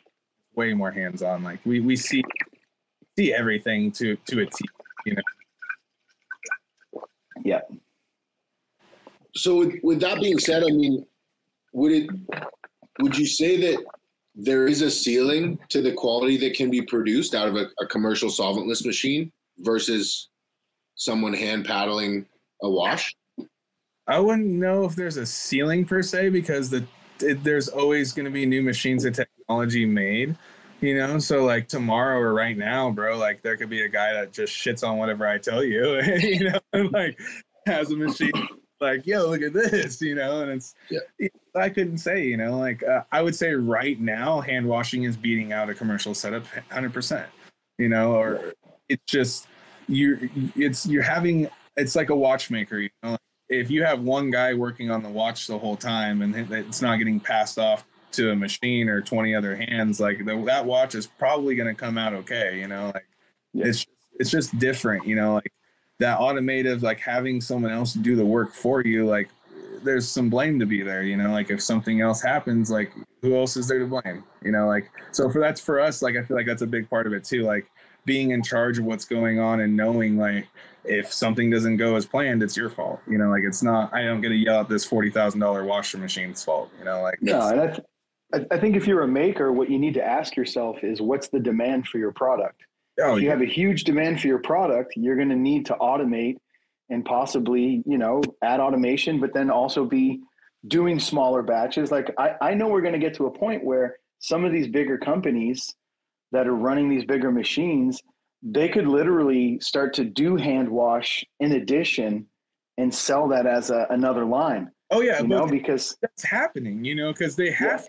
They have to. There's so much material that they've bit off yep. like like I was saying, you get to that next class and it's you got to do everything you can do because you have yeah. so much material. It's everything you can do to produce whatever you can do, you know. So every line counts, you know. So they, you're 100%, you know. Like when they get to that point, they're gonna have to start dropping new lines, you know, their boutique hand wash lines and these other random lines that sell fresh press lines, whatever it is, because they have so much material, and it's become you know, unless you're like a, I would say a licensed company, like that's just fucking ridiculous. Like that's overkill. If you're getting to the point where you're having multiple ospreys running and, and all that shit, like that's, you know, th- those guys that are doing that are selling their hash for 20, $25 a gram, you know, less 10, $15 a gram wholesale, you know, if you're, mm-hmm. you know, whatever market you're in, you know, Washington's terrible. Like, I want to say 502 is anywhere between 10 to 25, 30 if you're a really good brand, you know. Mm-hmm. You know, so like it's it's I, you know, and like I and is that retail or wholesale? That's wholesale. So like retail, the companies and the stores get you know anywhere from like if it's a good company, sixty to eighty, I would say. You know, like then you got Oregon's market's a little different. You know, Oregon has a shit ton of hash that's in their market, so those guys are racing to the bottom right now. You know, so Washington will do it too. Washington loves the race to the bottom. They're the 502. They they. It's sad as it is. Like these guys don't know how to coexist to save their lives in this market. So they will eventually one of them will start selling it for cheaper, vice versa. You know, so they'll start. Mm-hmm. You know, we have big yeah. like Fat Panda and shit that they're ready to race to the bottom. You know, that that's that's what he's hoping for. That's their know? model. Yeah, they're like, let's raise, boy.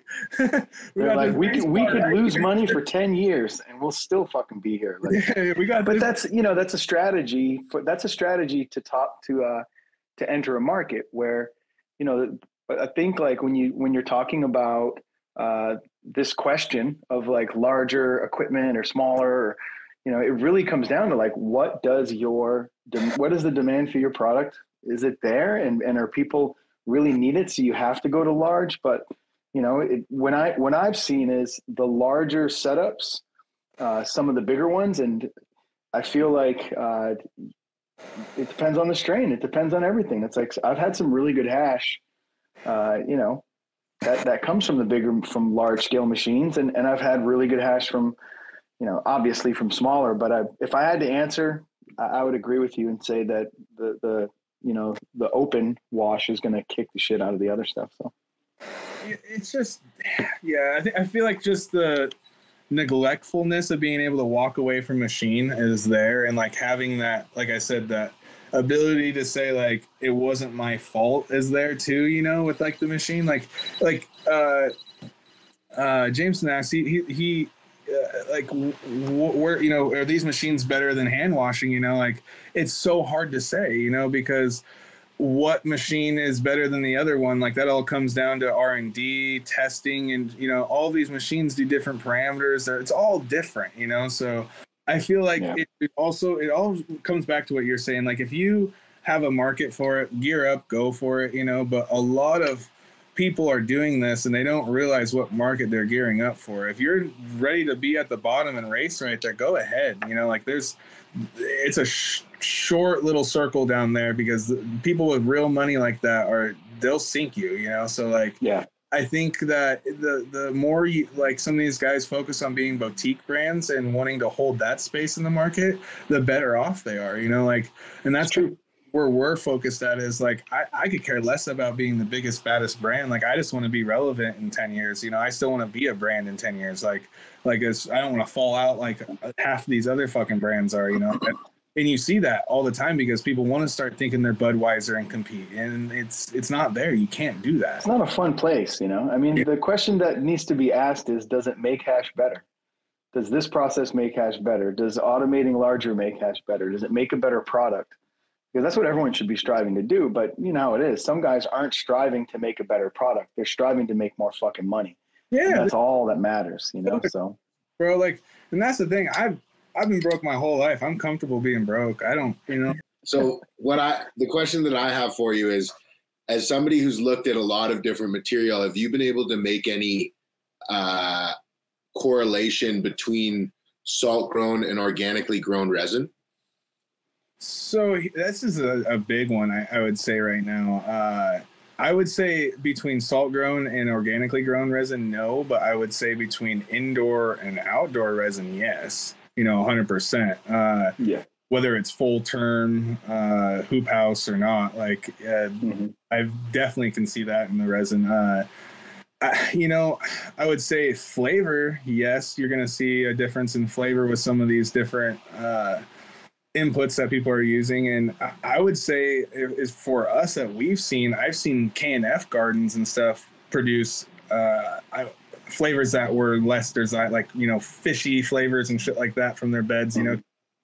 There, there's some things you you know running s- different styles you know people don't realize that you you know with a KNF garden you're not flushing you know. So like with shit like that like you're a lot of people don't realize that you're just hanging out with a lot of those inputs. So if you do too much of one thing, it may come back into your your result. That balance, yeah, the balance has to be so. Per- you have to do it correctly and do it the right way. Otherwise, so and like there's there's so much that we've seen, you know, that can affect the resin, you know, or as far as like flavor or color, etc. You know, so uh, I would say you know like salt versus uh, organic inputs. I have like me personally, I can't, I wouldn't be able to look at something and tell you like right off the rip like, oh blah blah blah. I could tell you that this bottle notes definitely how pumped it was, you know. But like as far as mm-hmm. smell, PGR, yeah, you know, you know shit like that. But like you're not like it, it's it's gonna be pretty like I, I would you, you could we'd have to Pepsi challenge that for some people because I think people are talking out their ass.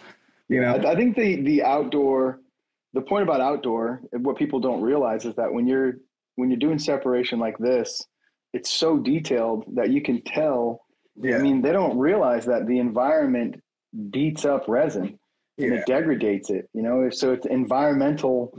You know, shit happens. That's why indoor runs so beautiful sometimes because you're like, oh, this shit fucking lives at the spa compared well, to you know the outdoor that's in, in the elements. So. And strains do for like for us that we've seen like we don't do anything outdoors.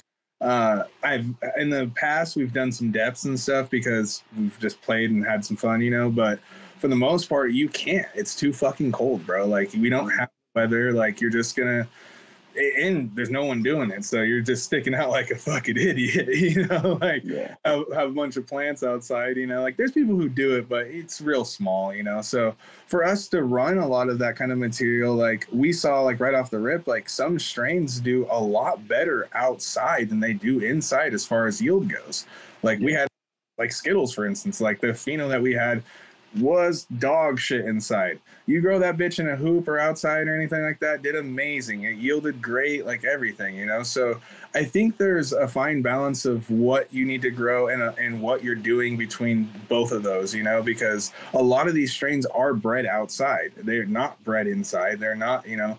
So the the numbers and testing that are coming back are out all from outside grows. It's not from an indoor grow. So uh, for people like me who bring these seeds that we buy from a lot of these producers, breeders, uh, the numbers don't add up. They're not the same.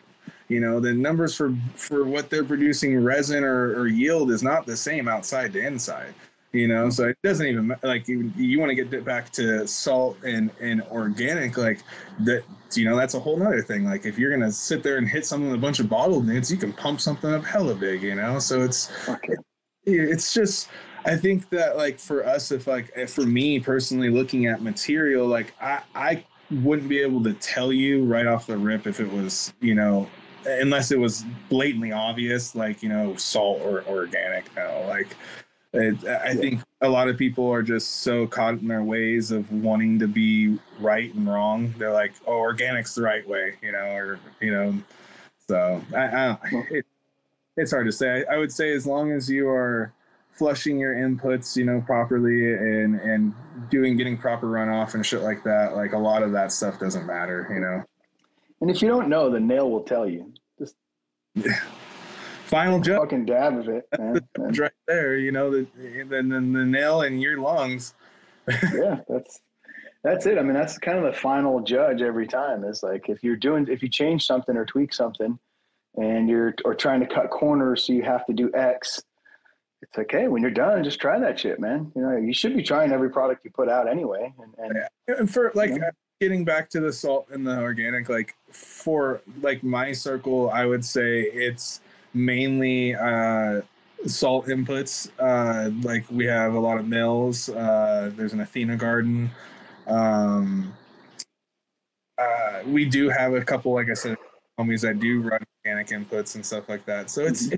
it's so hard to say like depending on what crop I'm running or what strain I'm running, like I personally like the only thing I, I would be able to tell you is yield uh, between you know the gardens, you know, and like like that's usually depending on how good uh, they're maintaining their garden and a number of other things, how big their garden is and shit like that, you know. So like. Mm-hmm. It, and it could be just a different genotype inside the phenotype, you know. So like, there's a lot that goes into yield, uh, uh, I would say. But like looking at quality salt versus uh, organic, it's that's hard.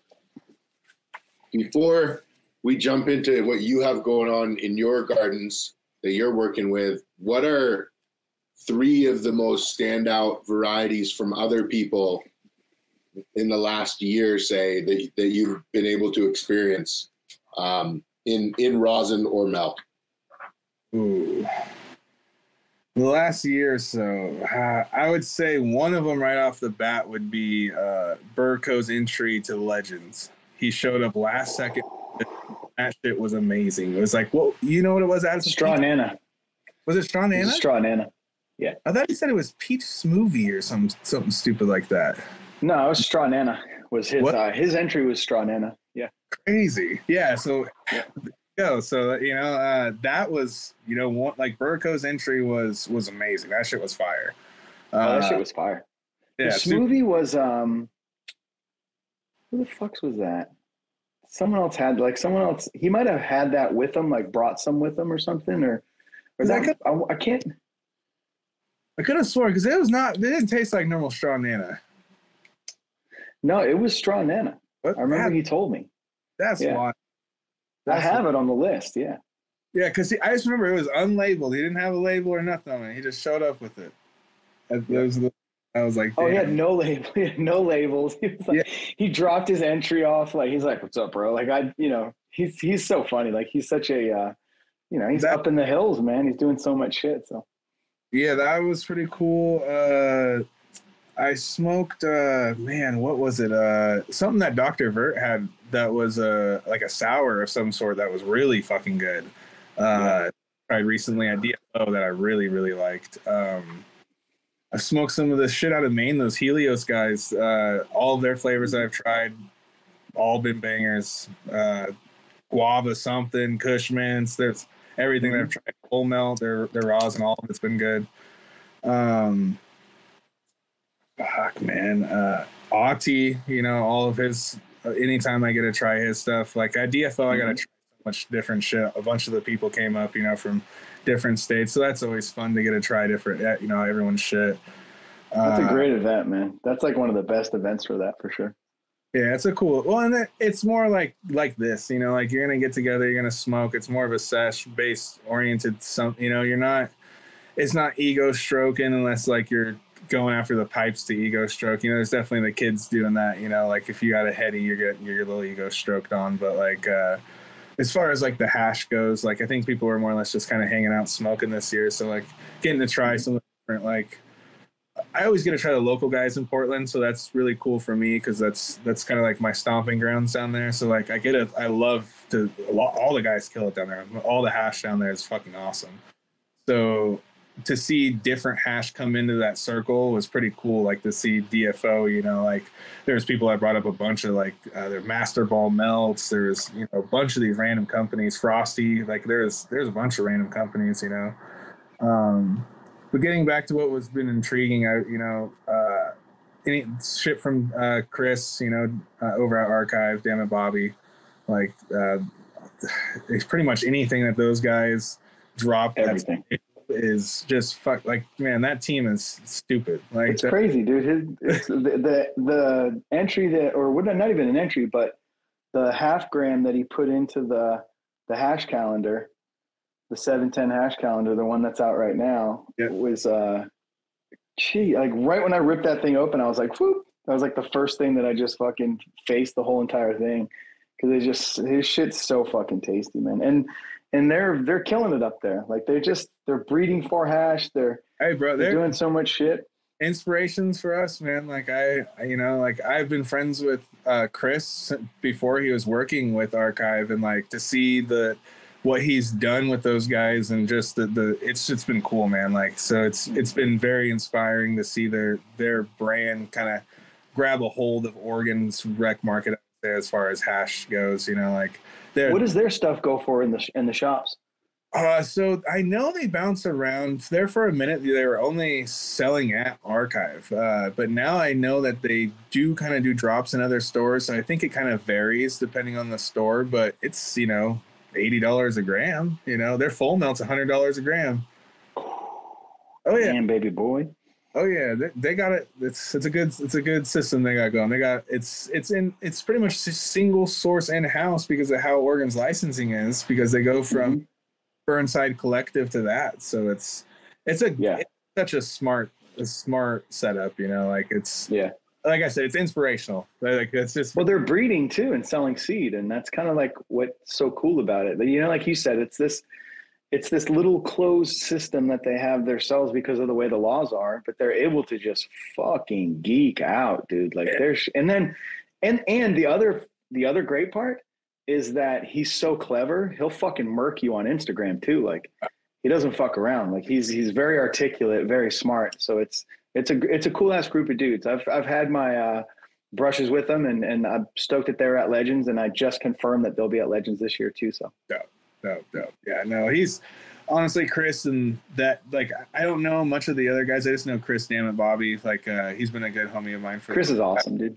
Past few years, he's a great dude. Like like just like I said, to see what they've done and what he's done with that brand, you know, what he's what he's influenced, you know, with the hash and stuff. It's it's been kind of crazy to see. I'm like, it's it's it's fucking dope, you know. I'm like this. What what a privileged position to be in too to have. Bro, he went went from scored so, so crazy. He went from scored, which was a 502 in Washington, and not like I wouldn't say it's not like a a B brand or anything, but it's not like your your most desired brand, you know. So and they just weren't seeing his vision with the hash stuff, you know. So to see from him go from that to picking up a job that was all about what he was seeing and what he wanted to do was like that was perfect for him, dude. Like the the bed, like that relationship was like Cinderella putting the, the fucking slipper on, you know. Like it's well, he deserves it too because he makes such good fucking product. Like, and that's the thing. Like when you hear the word privilege, people sometimes think it's like a negative uh, connotation, but it's like with him, it's really like he's earned that privilege. You could tell that he does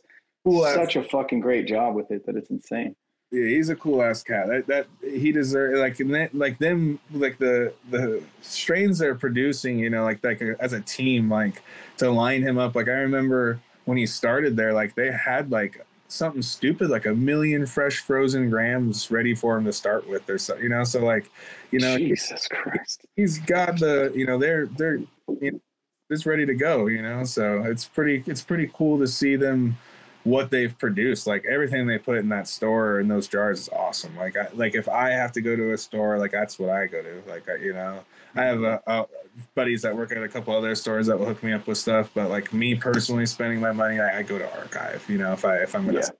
you know, especially their flower, like the the who they carry as far as like organ growers go, are like all mm-hmm. the best. You know. No, they're they're really um they're definitely one of the one of the favorites. Is that we were talking? We were talking about favorite brands, right? Like no, he said he likes.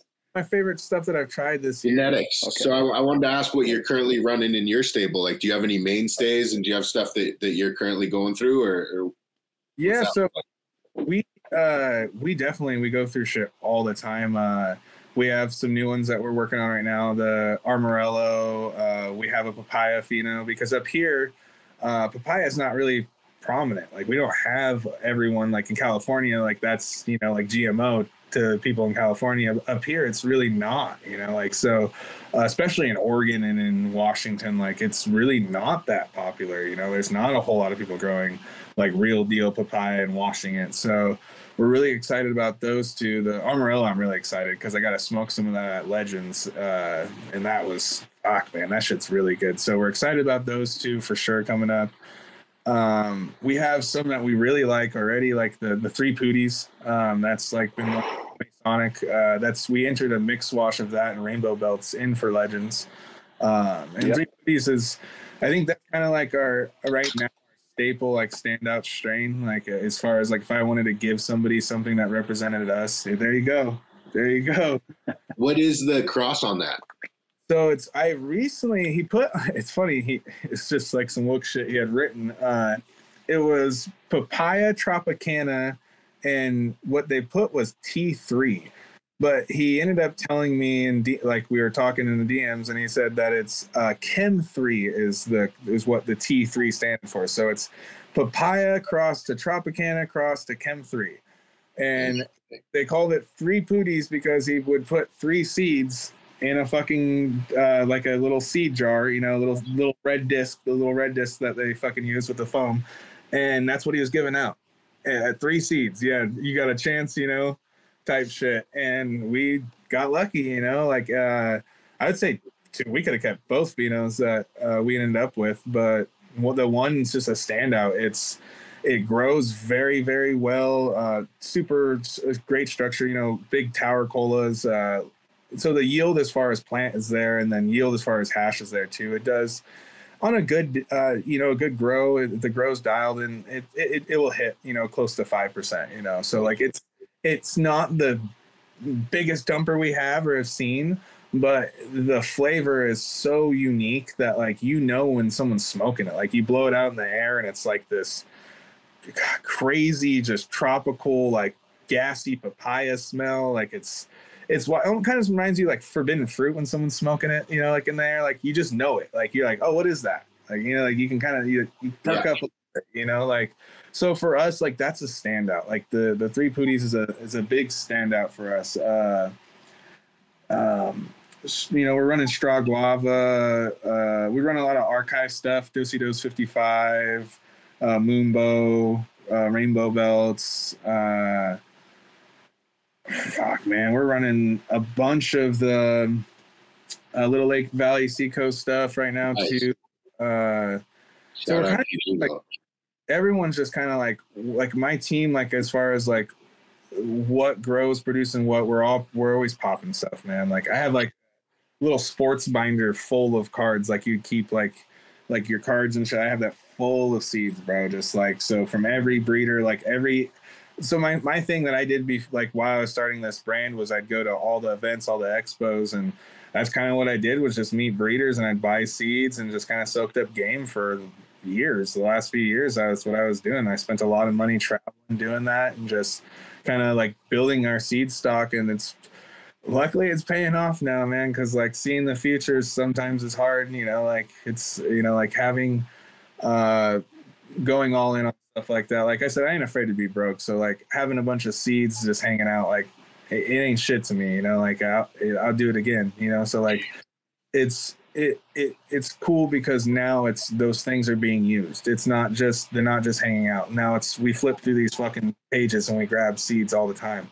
Yeah. You know, and it's that that's what's cool, you know. So like yeah, like working through the uh flavors from different breeders is is I think one of the funnest things in cannabis right now. Not being a breeder ourselves, like we're gonna breed in the future, like, like that's down the road. You know, we definitely have ambitions for that.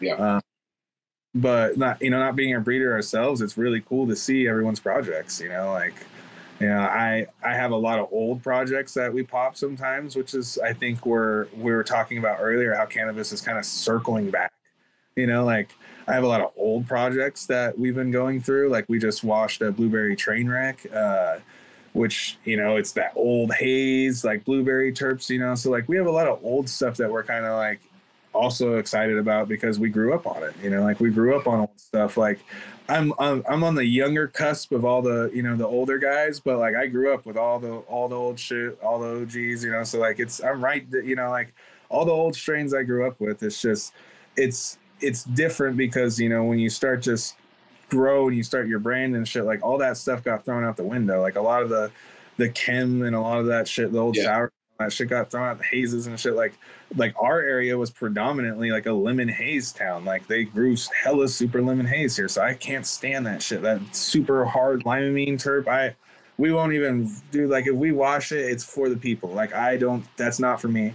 You know that's not for like you know so like it's like uh I think that there's like things that are it's cool that we can kind of circle back in cannabis to some of these things we grew up with right now, you know. And and seeds are the via ability, you know. Like, you know, the seeds have been giving us that ability to kind of uh, uh, time travel 10, 20 years, you know. Out of any of those cultivars that you mentioned, are there any that specifically stand out as better as a fresh press or better as a jam than they would be as a cold cure? Definitely. Um, I, I think that's kind of where it results to is uh, fresh press and cold cure or heat. All of that is strain dependent. You know, I think that's where consumers or hashers are widely mistaken of what they're producing or putting out there, what why they hate it. You know, uh, like we were talking about like earlier, there's a lot of strains that I wouldn't feel comfortable stability wise for fresh press. You know, like they're just gonna mutilate. You know, so I would definitely go cold cure. Uh, I guess maybe more jam for sure. Like, is the question like that? Jam, yeah, for jam, like I think a lot of people overheat. Like if if we're talking like heat tech jam, right? Yeah, so I think a lot of people overheat and we get one-sided terps. You get this kind of one-sided flavor because I think that's more or less what gets like I'm I'm just kind of spitballing here. I think that like one set of that terp is what is exposed and that's what we taste because if you it doesn't matter what run if you smoke someone's heat tech that was overheated it's kind of what you taste right at the beginning it's it's like this weird kind of terp that's like right there you kind of know that it's been heated up you know so I think that I've tried some that are great, you know, that have been done right. I've done some that have been done right. Me personally, I don't heat anything up unless it's for the vape pens, you know, or filling the pods up and shit. You know, uh, I'm I don't make I, none of our jars get touched with heat. Like that's not our our style. Uh, everything's uh, cold to room temp maximum temperature. Uh, it, but strain wise, I think you can play with that so hard and find find your balance of what is better than the other 100% because like I, from my experience r&d wise i've seen that you know just between cold curing and fresh presses and heat techs you know. There's yeah. some strains that when you did heat them up they don't really lose terpenes they kind of get louder you know and you can you know. I tried some from a guy uh, cold gold i think it's their brand uh, addison there and that's all yeah cold cold gold extracts yeah yeah, that's like really all they do is heat tech stuff. Is a lot of jams and stuff, and he seems to have gotten a, a, a pretty good tech down. Like his stuff didn't taste super like monoterpene or like weird, you know. No, like, it wasn't all blown out. Yeah, you know. So like I think like there's there's such a fine line of adding too much heat with some of those strains that like where you get that weird flavor. Um, yeah. for jam, like for for me personally, uh, I would much rather have a fresh press over a heat tech jam you know, just because I it's not hasn't been altered, you know. Um, and and and vice like if we're if we're getting onto the topic of fresh press and cold cure, like that is uh, you know like some strains taste so so uh, uh, strong fresh that they kind of need that cold cure to mature out you know? So for me like to smoke them i kind of uh, I, if i know what it tastes like fresh you know and i enjoy that i'll go after the fresh press you know more or less than something that's been altered you know yeah. Absolutely. I, I wanted to ask you about legends. I know we've kind of like touched on it and alluded to it, but I wanted to kind of ask what your overall experience was of that event. I know you you're very well traveled. You've been to other events. You've been to Ego. What was what was your experience at Legends like?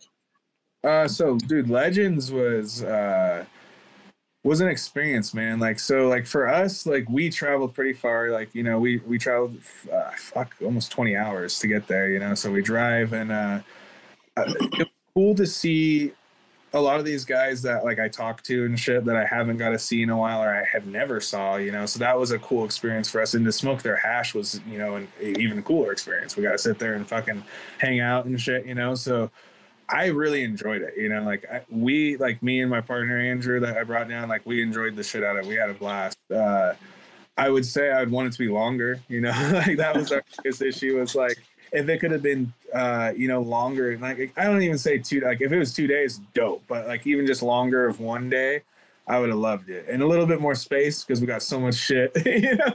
Yeah, it was. It was. We've. You know what's cool about it is we've. Uh, we've been able to like fix a lot of things for this year's. So it'll be that's why we wanted to have all the same makers back plus another 10 makers for like 35 makers total. So it's oh. so, and it's two day now. I think everybody loved it. It's two days now? Yeah, now it's so it's gonna be dinner. You have dinner and you'll get your kit and you'll do some judging and then you leave and then you come back the next day for brunch and then it's out outside sitting you, know, you could sit outside or inside or have much larger with booths like for each of the makers.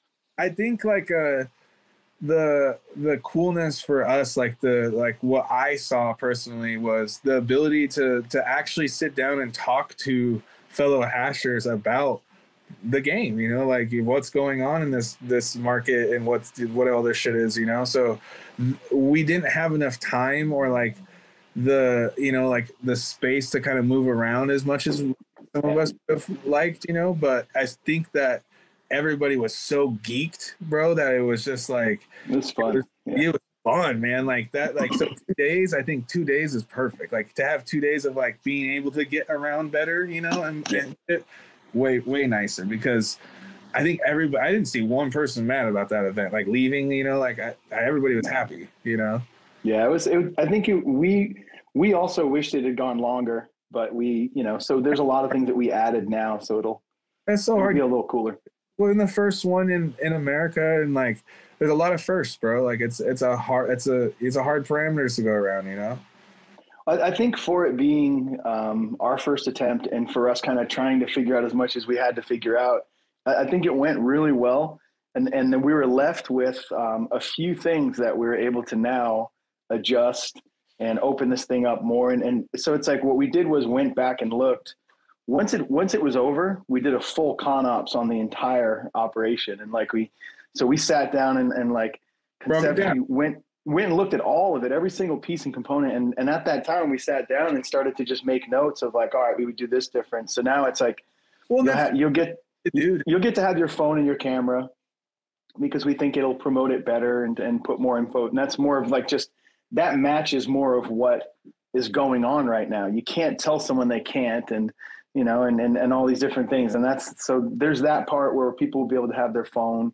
Um, we think that'll help. There's uh, the second day is a big part too. So now there's more time to judge. Bro, people people had two phones and were sneaking the other ones in. I thought that was hilarious. I was like, scandalous. Just so scandalous. They, so they could get a photo. I was like, this is crazy. Well, that's the other part too. Is we we realize that like you really can't keep people from doing it. So then you're just gonna.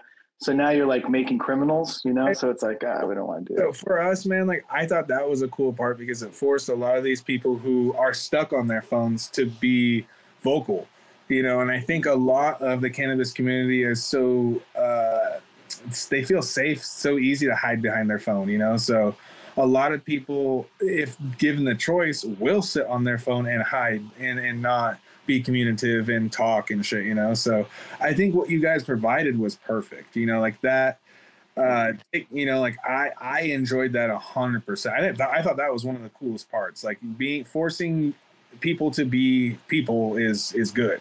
You know, that's not weird. You know, like yeah. what's you know, like I so I thought I thought that was cool. You know, like I think there needs to be more of uh, uh, uh, you know, like not forcing, but a more of a, a highlighting on uh, let's be actual humans. Let's be social. Like let's you know, you don't got to be so clicky. Go meet some people. Go you know like, and that was what was cool. We, when we did Thanksgiving, you know, at your spot, like I got to meet people that I've never met before, bro. So yeah, that was fun. that's what I came there to do. I came there yeah. to network. I came there to meet people. You know, so like, like I think that is for the events. Like I think to take away the clickiness as much as possible is huge because a lot yeah. of a lot of these people know each other, bro. Like so, it's you know to if if you know each other, the it's human instinct to go where you know and to hang out where you know, you know. So like mm-hmm. it, it, it gets a little odd, you know. Like I sat at a table with cold the cold gold or yeah cold gold and uh uh gold country extracts uh, yep. and both of those guys were fucking awesome, dude. Like Gold, I talk to those dudes all the time now. Like Gold Country, yeah. the homies, you know. So like, I, awesome. I wouldn't have had that ability without like the phone being taken away and us being forced to hang out. You know, same with Burko. Like I didn't that, like was like uh, maybe we talked before, but like I talked to him decent amount on IG now. You know, so it's like yeah. You know, some of these cats like it was cool to like be able to actually chop it up with. You know, like Mad River. Yeah, man. man, now you got me wanting to fucking take the phones back. God damn it! Like what? oh, I could care less about the phone. You got me going both ways. I'm not sure. No, I, I think you make a great point though because it it did put people in front of each other and, yeah. and it was something that you know because like you said people fucking snuck phones in anyway. There's videos that i saw that were posted up so. I think i think it's hard to not have a phone in an event now. I think it's either got to be incredibly controlled or it's got to be just let go. I, I don't know. I think you need like a metal detector to, yeah. to really to really to really make sure. Pretty much. You're, you're gonna like people are so stuck on these things for you know whatever it is, whether it's work or social or just like you know they're just stuck, man. Like you have the world at your fingertips, so they're gonna jump on it. Well, I, I know for myself, I definitely have to like be very aware of you know of of all of it because it can be a bad thing, but the, the convenience of it's awesome. It's easy to get lost in it. Like it's very very easy. Yeah. So I want to switch gears a little bit, and I want to talk about glass. Um, okay. You, I know, are very involved in that scene, and I wanted to ask when that started. Man, so me and my my homie, like my like I said, my brother Andrew, we uh, we started a glass gallery. What's that? Nine years ago, ten years ago. So uh, I, you know, fresh out of high school, besides hustling, just didn't really have a plan, was being an idiot, you know, just kind of went through my uh, experiencing phases, you know, I was, you know, fucking around doing, you know, random party drugs and shit and like was done with it. You know, like just kind of phased out and was like, uh, I gotta, gotta grow up and start doing something, you know? So I remember we were sitting at the house and I literally looked at him and told him like, "Yo, bro, we should sell glass. Like, I I can sell it. I had always been buying glass. Like, I remember when I was fuck 17, I was paying people to go to the head shops here in town to to get me random shit.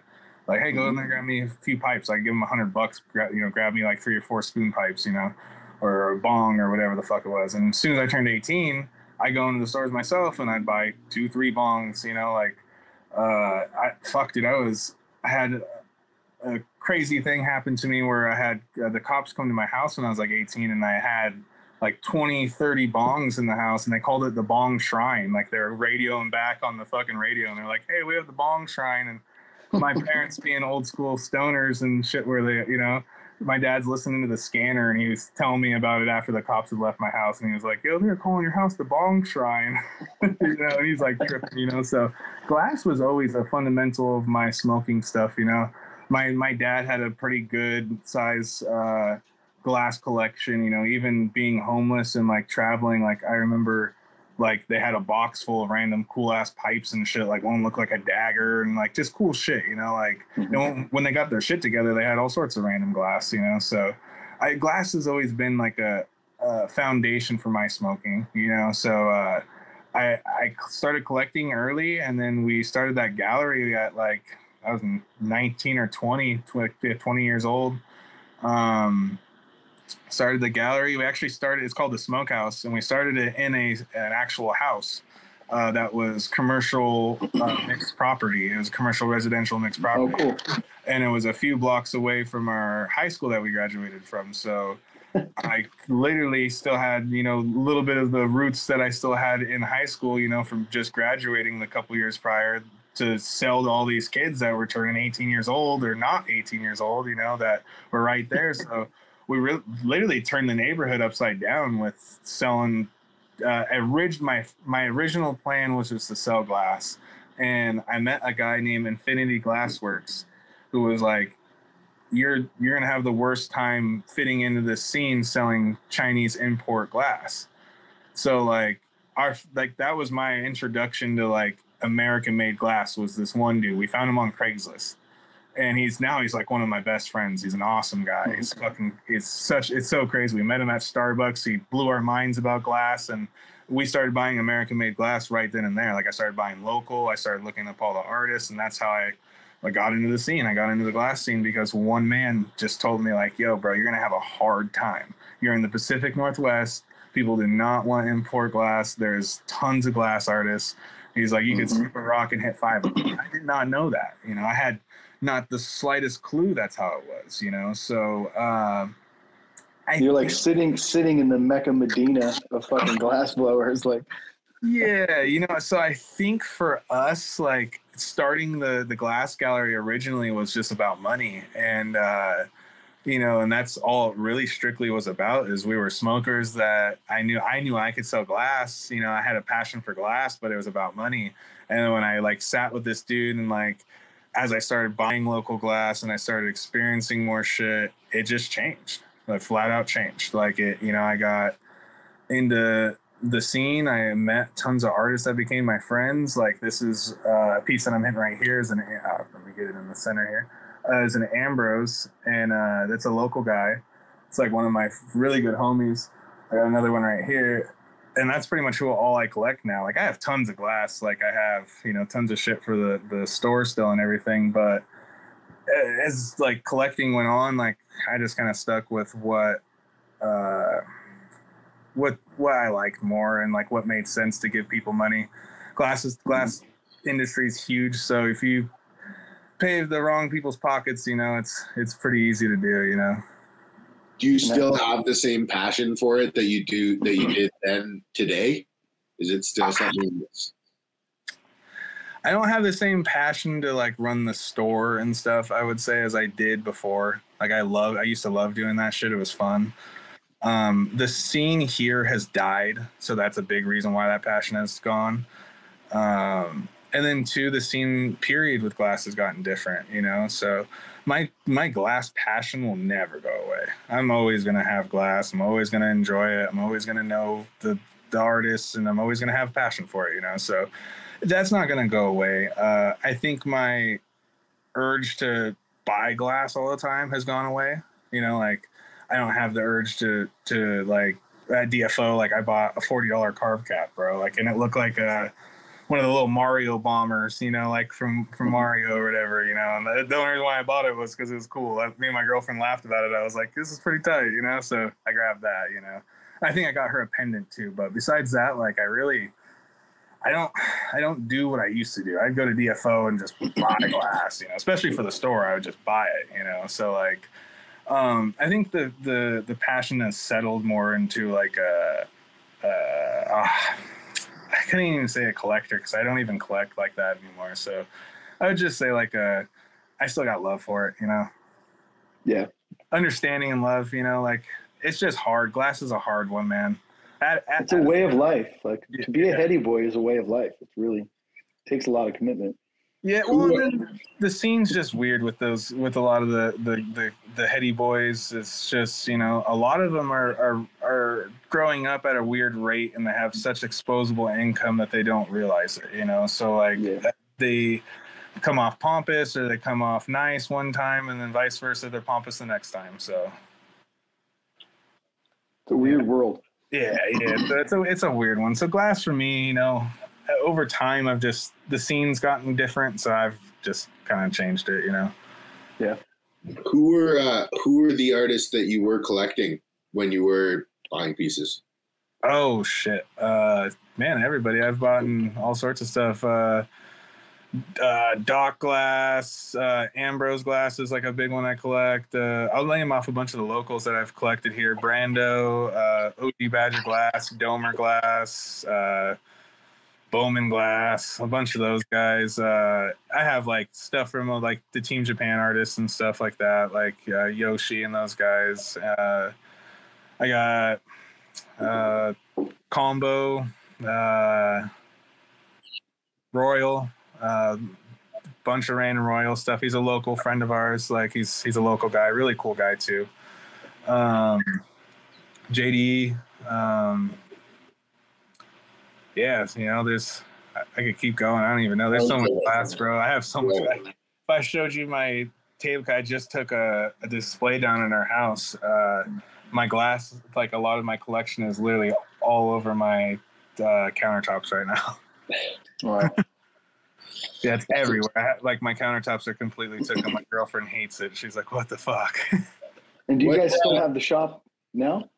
No, so I had a shop with Kung Fu Vapes, and uh, we were doing a collab store in downtown of downtown Spokane, and I just didn't really uh, come out on top with the scenario, and I didn't with uh, with COVID and stuff. You know, it just didn't make sense. You know, rent and everything, and this, like I said, the scenes here is just dying. So uh, I just kind of like closed it and was just doing the Instagram thing and it got to another point where I was just mentally like, I'm just rather focus on Terrptopia. You know, like it's doesn't make sense to do something that is I'm just dragging dead weight. You know. Yeah.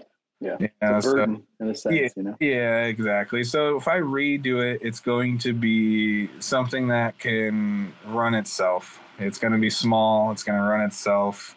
It's going to be a small, self-sustaining gallery that of the rest of the shit that I have that I've collected and I have, you know. Uh, and kind of just maintain it off of what the local guys got do, you know, because I have love for the local scene. I, I got a lot of love for this local scene.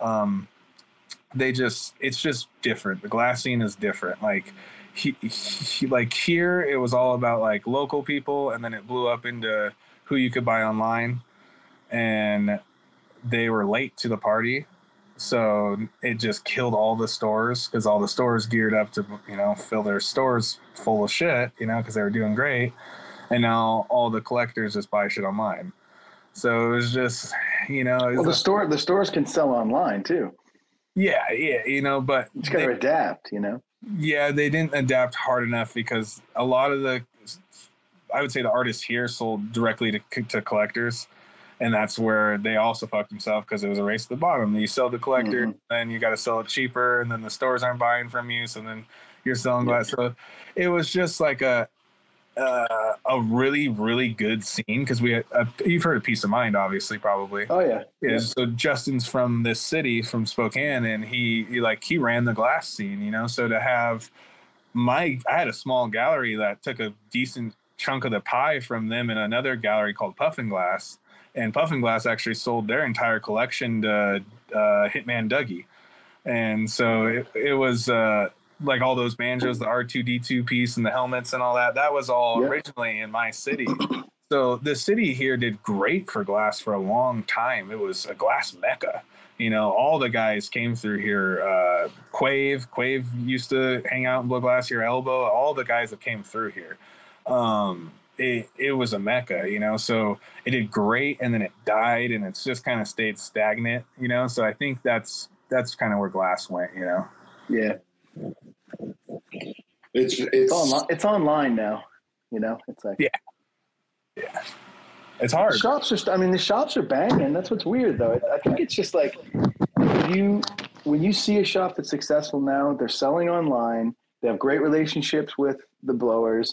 They know how to throw events in in shop, and if they're in a state where cannabis is legal, like we go in California to the shows, and it's like everyone's just dabbing in the shop. It's like woo, like it's the best experience. You know, it's super nice. So I think in those places where it, it has a better environment, they're they're doing pretty good from what I see. But that, I'm I'm talking California, so.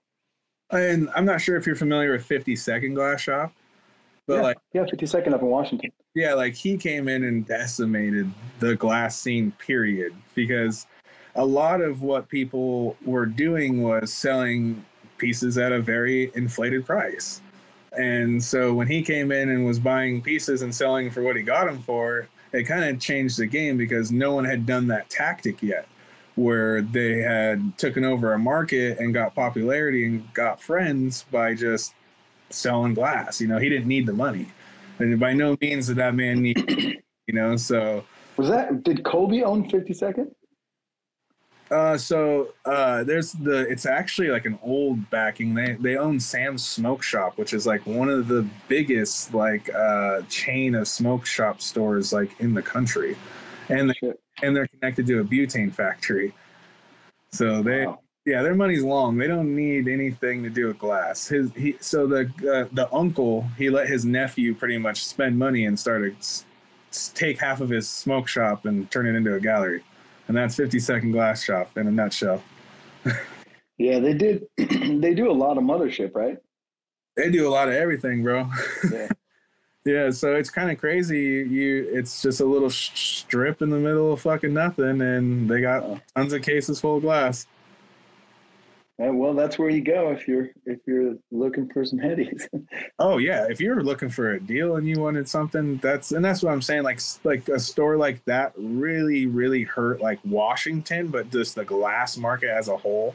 Because glass artists, one were like, "Yo, you just sold that piece for like what I gave it to you for," and they didn't. You know, they're they're tripping because they're collectors that want their shit want it for that price now. You know, so it's well, what, but the thing, what I'm wondering though, is like that model can't work for that long because you're going to burn so many of the blowers. Then, uh, where yeah, you, no, because some of the blowers didn't care. They're just like, yo, if you're going to cash me out every time, I'm getting cashed out. yeah, yeah, I guess. I mean, that's when when uh, sometimes when things are less sophisticated, it's because some kind of get to that place, but don't make a hundred pieces a year; they make twenty pieces a year. So if you can sell the one to, me, you know, and sell to another gallery your 20 pieces and they're all sold, fuck it. Forget about it. You're going to sell it to that guy. Yeah, you're going to get them out there. I mean, that's, you know, and there's there's always going to be somebody who has just money and they don't see it, you know. I mean, everybody's done it. Like you sold a piece and and you know lost money on it or whatever. So hundreds, bro. I've done it hundreds of times. Like oh, at store, like you just kind of like for me, like having the store and selling something for cost or for less than what I got it for just to get it out was one to get it away, you know, and get it sold was to just keep new product going. But two was to see someone just get happy with it, dude. Like to yeah, see you can stoke somebody out. Dude, to be see see someone like actually genuinely stoked with it, and I don't have to look at it no more. And I'm like, tight, cool. It's the things. Well, then you have money now to to buy something else. You know, flip something else. Model, keep keep keep keep things pushing, man. Always keep it pushing. Like you know, like if you if you're stagnant, you got to keep it pushing, man. Like in that with glass, I, a lot of artists don't realize that they they'll stay on one design or they'll beat the dead horse of that one piece that they've been trying to sell for two months, and then people don't want it. You know, mm. gotta, gotta keep it pushing. Hundred percent. So in addition to the glass community, the cannabis community is also in a pretty rough spot right now, both on the traditional and regulated market side. Are what is your outlook for the next three years? Are you optimistic? Do you what what do you see happening? I would tell people to buckle up because it's definitely going to get a little weird. You know, uh, if you're not going through and trying to do new things as far as strains go, what you're producing quality wise, whatever, it's going to be hard for you. You know, and if you don't stay in your own lane and do too much, it's also going to be hard for you, you know, in the next few years. And I think that's what I, you know, we're getting back to of just like, we try not to bite off too much that we can chew and we just try and stay in our own little lane in our own class like you know uh, and that's what i'm going to stick with you know uh, maybe we'll expand you know and try and hit one of these these rec opportunities eventually you know if we have to in the next couple years you know but for us you know uh, we're just going to keep it small and keep things you know boutique you know because that's that's where i think it's headed you know. If you're not a boutique brand that has things to offer that people genuinely want and you have a genuine following that's not paid or, or fake it's going to be hard for you you know? Like like that organic following is everything in this market uh, look at wineries you know breweries all that. Like there's people who drink shitty beers but they love it you know and that they're, they're gonna love it you know so as long as you get uh some sort of following that that loves you and you stay with it and you stay with it you know and you keep providing them something that they like you'll be fine in the next three years. I think it's if you don't have that following that you can provide things to you're not going to be fine in three years you know. Do you see value in looking to partner with groups on the regulated side or do you feel as though your brand will have more value if you hold fast and and wait some time before so this is those doors?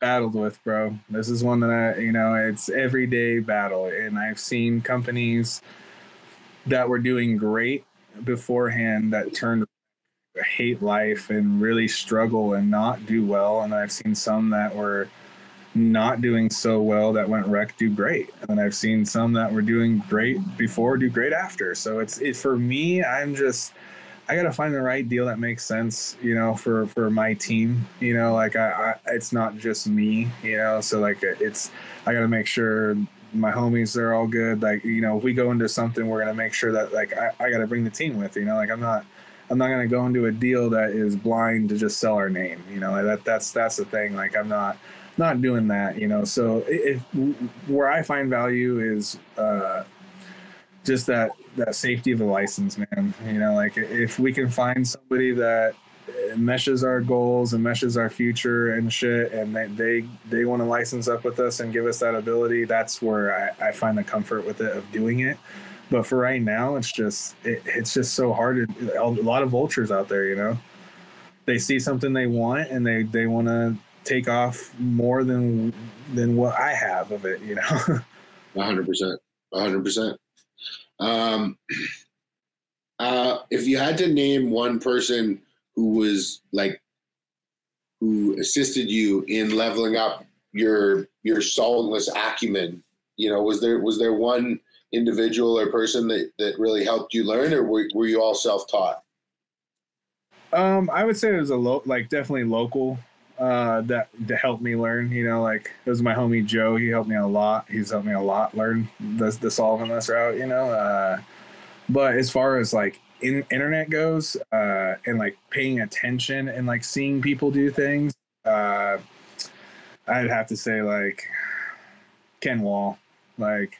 100% like it, without like watching his shit to a T uh there th- he's definitely helped me out a lot you know Cuban, like uh, both of those guys, like just watching what they did and trying to emulate like what they did. Like Cuban was out in Washington for a while, so I got to have that like little bit of a relationship of talking with him, you know, and shit like that. So it's you know like those guys definitely as a whole, like all three of those names I mentioned, definitely helped me with uh, my solventless inspiration and this brand. So when people ask you about getting into the cannabis industry, what advice do you give them? Do you do you tell them to come in, or do you do you tell them to maybe seek seek employment elsewhere? I would depend on what they're trying to do. You know, like if you where I'm at, like I said, 502, I would tell them to stay the fuck away. you know, it, it is not, you know, and I might get flack for this, you know, but I, I have not met too many people in Washington State's legal system 502 that are having fun. There's really not a whole lot of them. Like, in every brand that I've seen has been spitting out, or they're just kind of floating. You know, so it's. Uh, that being said, the consumers that come in aren't that educated. They're not uh, after the most desired like products like we enjoy. You know, like we want the best products that we can usually smoke. I doubt we're going in there asking for twenty dollar ounces of flower and shit. You know, so dealing with that it would be hard. So like telling someone to like, hey, you want to go work at a rec store in Washington, I probably wouldn't tell them that. You know, if they're super uh, retail oriented, you know, server oriented style like that, yeah, go ahead. You'll have you might enjoy it. You know, what you know at a faster pace store a slower pace store, you might fucking hang yourself. You know, like you know, you're not doing nothing but maybe counting inventory if they even let you do that. You're just kind of hanging out, you know. So, and then it goes into like, are you going to go be a trimmer or what are you going to go water plants? You know, like this. What are you going to do in the cannabis industry? So it'd be hard for me to like you know, if I were to tell them about the 502 side of like, yeah, go sign up and be, you know, have a job. But like, if you're genuinely wanting to know and wanting to get into it in any shape or form, I would say go go for it. You know, like cannabis is awesome. There, you shouldn't be afraid to try it at all. You shouldn't be try to do anything. You know, but be careful if you have money and you're going into it and trying to invest and shit like that. You know, there's a lot of people spending blind money in this in this game. You know, and I think that is. Uh, people don't really talk about that because there's a lot of people that are taking advantage of these sheep that are coming in and they're just they're letting them spend it up you know? So like and they're mm-hmm. spending it up with them you know? And that's when it comes to with like the licensing shit you know? Like you could you know i could take someone's money right away you know? I'm not doing that shit you know? Like that's i'm not gonna spend someone's money like I, fuck all that. Uh, i think that if you were to get into the cannabis game, you better already have a passion. You know, you better not try and just learn this shit. You know, it, it's not at that point anymore. It's it's so uh, consumer oriented. It's not uh, it's not like a teaching game anymore as much. You know, like before we were kind of taught it. You kind of were just brought up with it. You know, like it was like a teaching. It was part of your life. You know, mm-hmm. it's not really part of your life as much anymore. You know like especially if you're in a legal state like you're you're turning a certain age waiting to go smoke. Like that we didn't have that. Like fuck. Like wait no. till you're you know like that that's so i think it's just different yeah. For sure man. I think that i think that's i think that's sound advice. Uh, what in the last five years like what is one thing that you champion as being your proudest moment? Like whether it be like a cup win or mastering a wash or completing a harvest? Like what what would that be? I would say just dialing in our our process, you know, dialing in our washroom, dialing in what we do, uh, just getting to the point where we're at now, you know, as a company, you know, like there's a lot of growing pains, a lot of shit like that. Like I'm really just proud of where it, what it's turned into, you know, like in the last, uh, you know, five years, you know, like it's, I started this brand in 2017, so you know it's it, has been five years, you know, pretty much for the most part, on the cusp of like six ish, you know. But uh, I would definitely say just being proud of where we're at now, you know, like I'm proud that we got offers to go to legends and shit like that. Like you know, like there's not everybody who got that. Like you know, like that that's that's a pretty cool thing. You know, like uh, so I, am just kind of I'm more or less just proud of like being able to to build something with a following that's organic. Like I was saying, like if you have people that actually want to fuck with you, you'll know it. You know, and like that's a pretty cool thing. Like I have people who actually fuck with me. Like I have people who hit me up on the regular and want to hang out or want this hash or want you know to know what's going on with this brand. You know, like a pretty cool thing. Uh, probably one of the other cool ones we sold. Uh, I did a mood mat collab years ago, like right when mood mats were getting super popping three, four years ago. And we sold the fastest amount of mood mats that they had ever seen. It was 100 mood mats in like 55 minutes, you know, whatever the fuck it was, 53 minutes or whatever on their website, you know. So like that that was pretty cool. That's awesome. That's yeah. awesome. That's cool. Were you yeah. a huge fan of uh, of uh, Fruitopia? Fruitopia? Yeah, yeah, yeah. inspiration, bro. Everyone wants to know about it. That's the inspiration. So what I did is uh, I definitely drank the fuck out of that as a kid. I was a fat. Yeah, kid. I did. I was a fat kid growing up, so I drank the shit out of fruit. Is it still around or is it gone? Canada Coke product. I actually had uh, a guy who hit me up who works with them and was like, "Hey, man, like." cool product, you know, cool branding. He was like, just, you know, like cool that you guys changed it. You know, he was just letting me know like I, I could have been sued if I didn't change some of the elements. Because when we first dropped it, I still have the logo. I didn't change any of the fruit.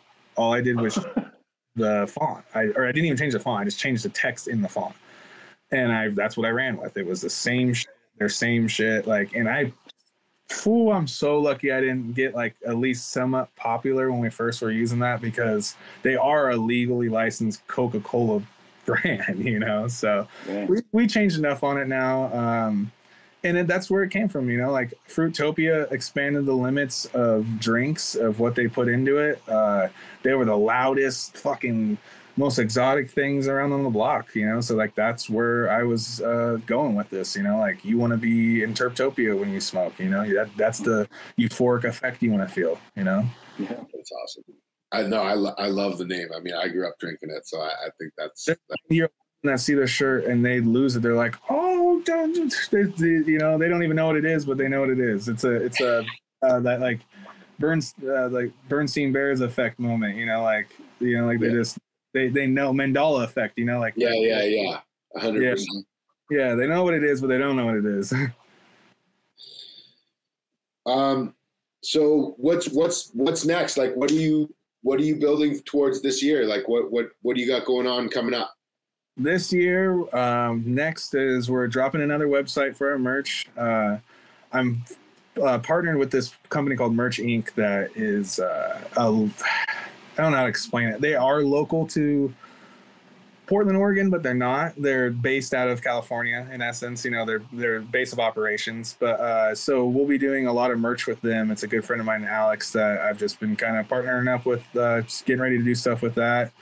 Because uh, the merch has been like a really sought after thing for us. Uh, thankful as that is, you know, like the people want it. You know, I get hit up all the time. Can I get a sweatshirt? Can I get a mood mat? Can I get this? And we don't have it. Like I do limited runs. Like I don't have boxes and boxes of merch waiting around and inventory waiting around for people because one, that's it's a very hard thing to do, and two, it it makes more sense to partner with people who are professionals with the merch. I'm not a professional at uh, keeping up with buying all this shit and doing all that. Like I just don't have the time. Like I've ran stores, I know what it takes to to do all that. So like teaming up with a company like Merch Inc. to sell all this merch is it's been very very uh, a breath of fresh air. I'm really stoked on that, you know, moving forward. And then just like as far as what we're doing as a team, like we got a lot of flavors we're working on. We're really stoked to kind of like narrow down a wider range menu. Um, we're working on a pretty cool like terp box thing. I don't want to put too much on it. Like we've done boxes in the fat like the past. I did like a Valentine's box. I did a, a Christmas box. So we're gonna do something that's really, really like clean and professional. We're working with a company right now on it, and it's gonna be a box set. The first one will feature hash and, and rosin, and the second one will feature probably flower and edibles. So it's gonna we're gonna f- kind of focus on some some cooler like niche products that uh, will kind of open us up into other I think other markets as well. You know, like the the boxes will be able to you know have a little bit more fun with those of what we're putting in them and shit like that. Uh, besides that, we're just kind of looking forward to this, you know, the summer really like could be the summer being here. Like we, like I said, it's cold all the time where we are, bro. So the summer being here is awesome. We're just trying to bounce through summer, look towards winter, bro, and and uh, keep popping flavors, you know. So like that's, you know, we're we're about flavors. That's what this company was started for was flavor. You know, that's what we're we're, we're after. We're just we're gonna keep building our menu, keep getting longer. Um, and just kind of look for like those opportunities like i was talking about if one comes up that i feel comfortable with taking that's kind of where i'm headed towards with this this company you know is coursing it the the boutique way. You know, I, am not selling out anytime soon. I'm not going into some random market just to get a check. Like that doesn't make sense to me. You know, like I could have done that 20 times over. Like i do that tomorrow. You know, mm-hmm. like it doesn't make sense. You know, so what makes sense to me is longevity. You know, like and that's oh, yeah. That's what I want. You know, so like just trying to trying to move in the smart way. You know, like like you were saying the the the industry and the market is in a weird f- fringe right now, you know, so you gotta paddle correctly and figure out where you're going. You know. Hundred percent, bro. Hundred percent. Well, Max, I appreciate you coming on. I appreciate you taking the time, bro. Of course, bro. Of course, I appreciate. Where can uh, where can people find you besides uh, the Instagram page? Uh, right now, it's pretty much just the Instagram page. Like I, we stay pretty low key. Uh, that's you know, like if we want to get back to, to, to a little bit of something on this company was started is like we stay safe. We try and be as safe as we can, you know. And so I like to tell people uh, our hash finds you. You know, you you you know that's the best way I could say it. You know, like if you're looking for it, it will find you. I promise you. But you you said you guys are going to have a website for the merch and stuff. Yeah. Yeah, merch will the merch and all that. You'll be able to get all that. I'll have it. It'll be most likely something super simple, terrptopia.com or terrptopia.us or something. I'll have it. All all that will be produced on uh, Instagram, Twitter. Uh, you can find me on Terrptopia on Twitter, Terrptopia on uh, Instagram. I have to keep fighting with those motherfuckers to keep my page alive, but you know. Good thing, good thing it's still there, man. That's all. Yeah, you know, but uh, to like to find us in the future, we'll be at any event that we can pull up on the West Coast for the most part. Like we don't, I don't travel east as much anymore, the mid, the mid, uh, the Midwest or any South or anything. But the West Coast, like this, this is our home. We try to hit everything we can. You know. Awesome. We'll I, see. We'll see you guys at Legends for sure. I'll see you at Legends. You know, I'll be there. Absolutely. Well, thank you so much, bro. Again, thanks for taking the time. Thank you, everybody, for tuning in. And uh, don't forget to like and subscribe. Thank you. Appreciate it, Max. Of course, bro. Peace.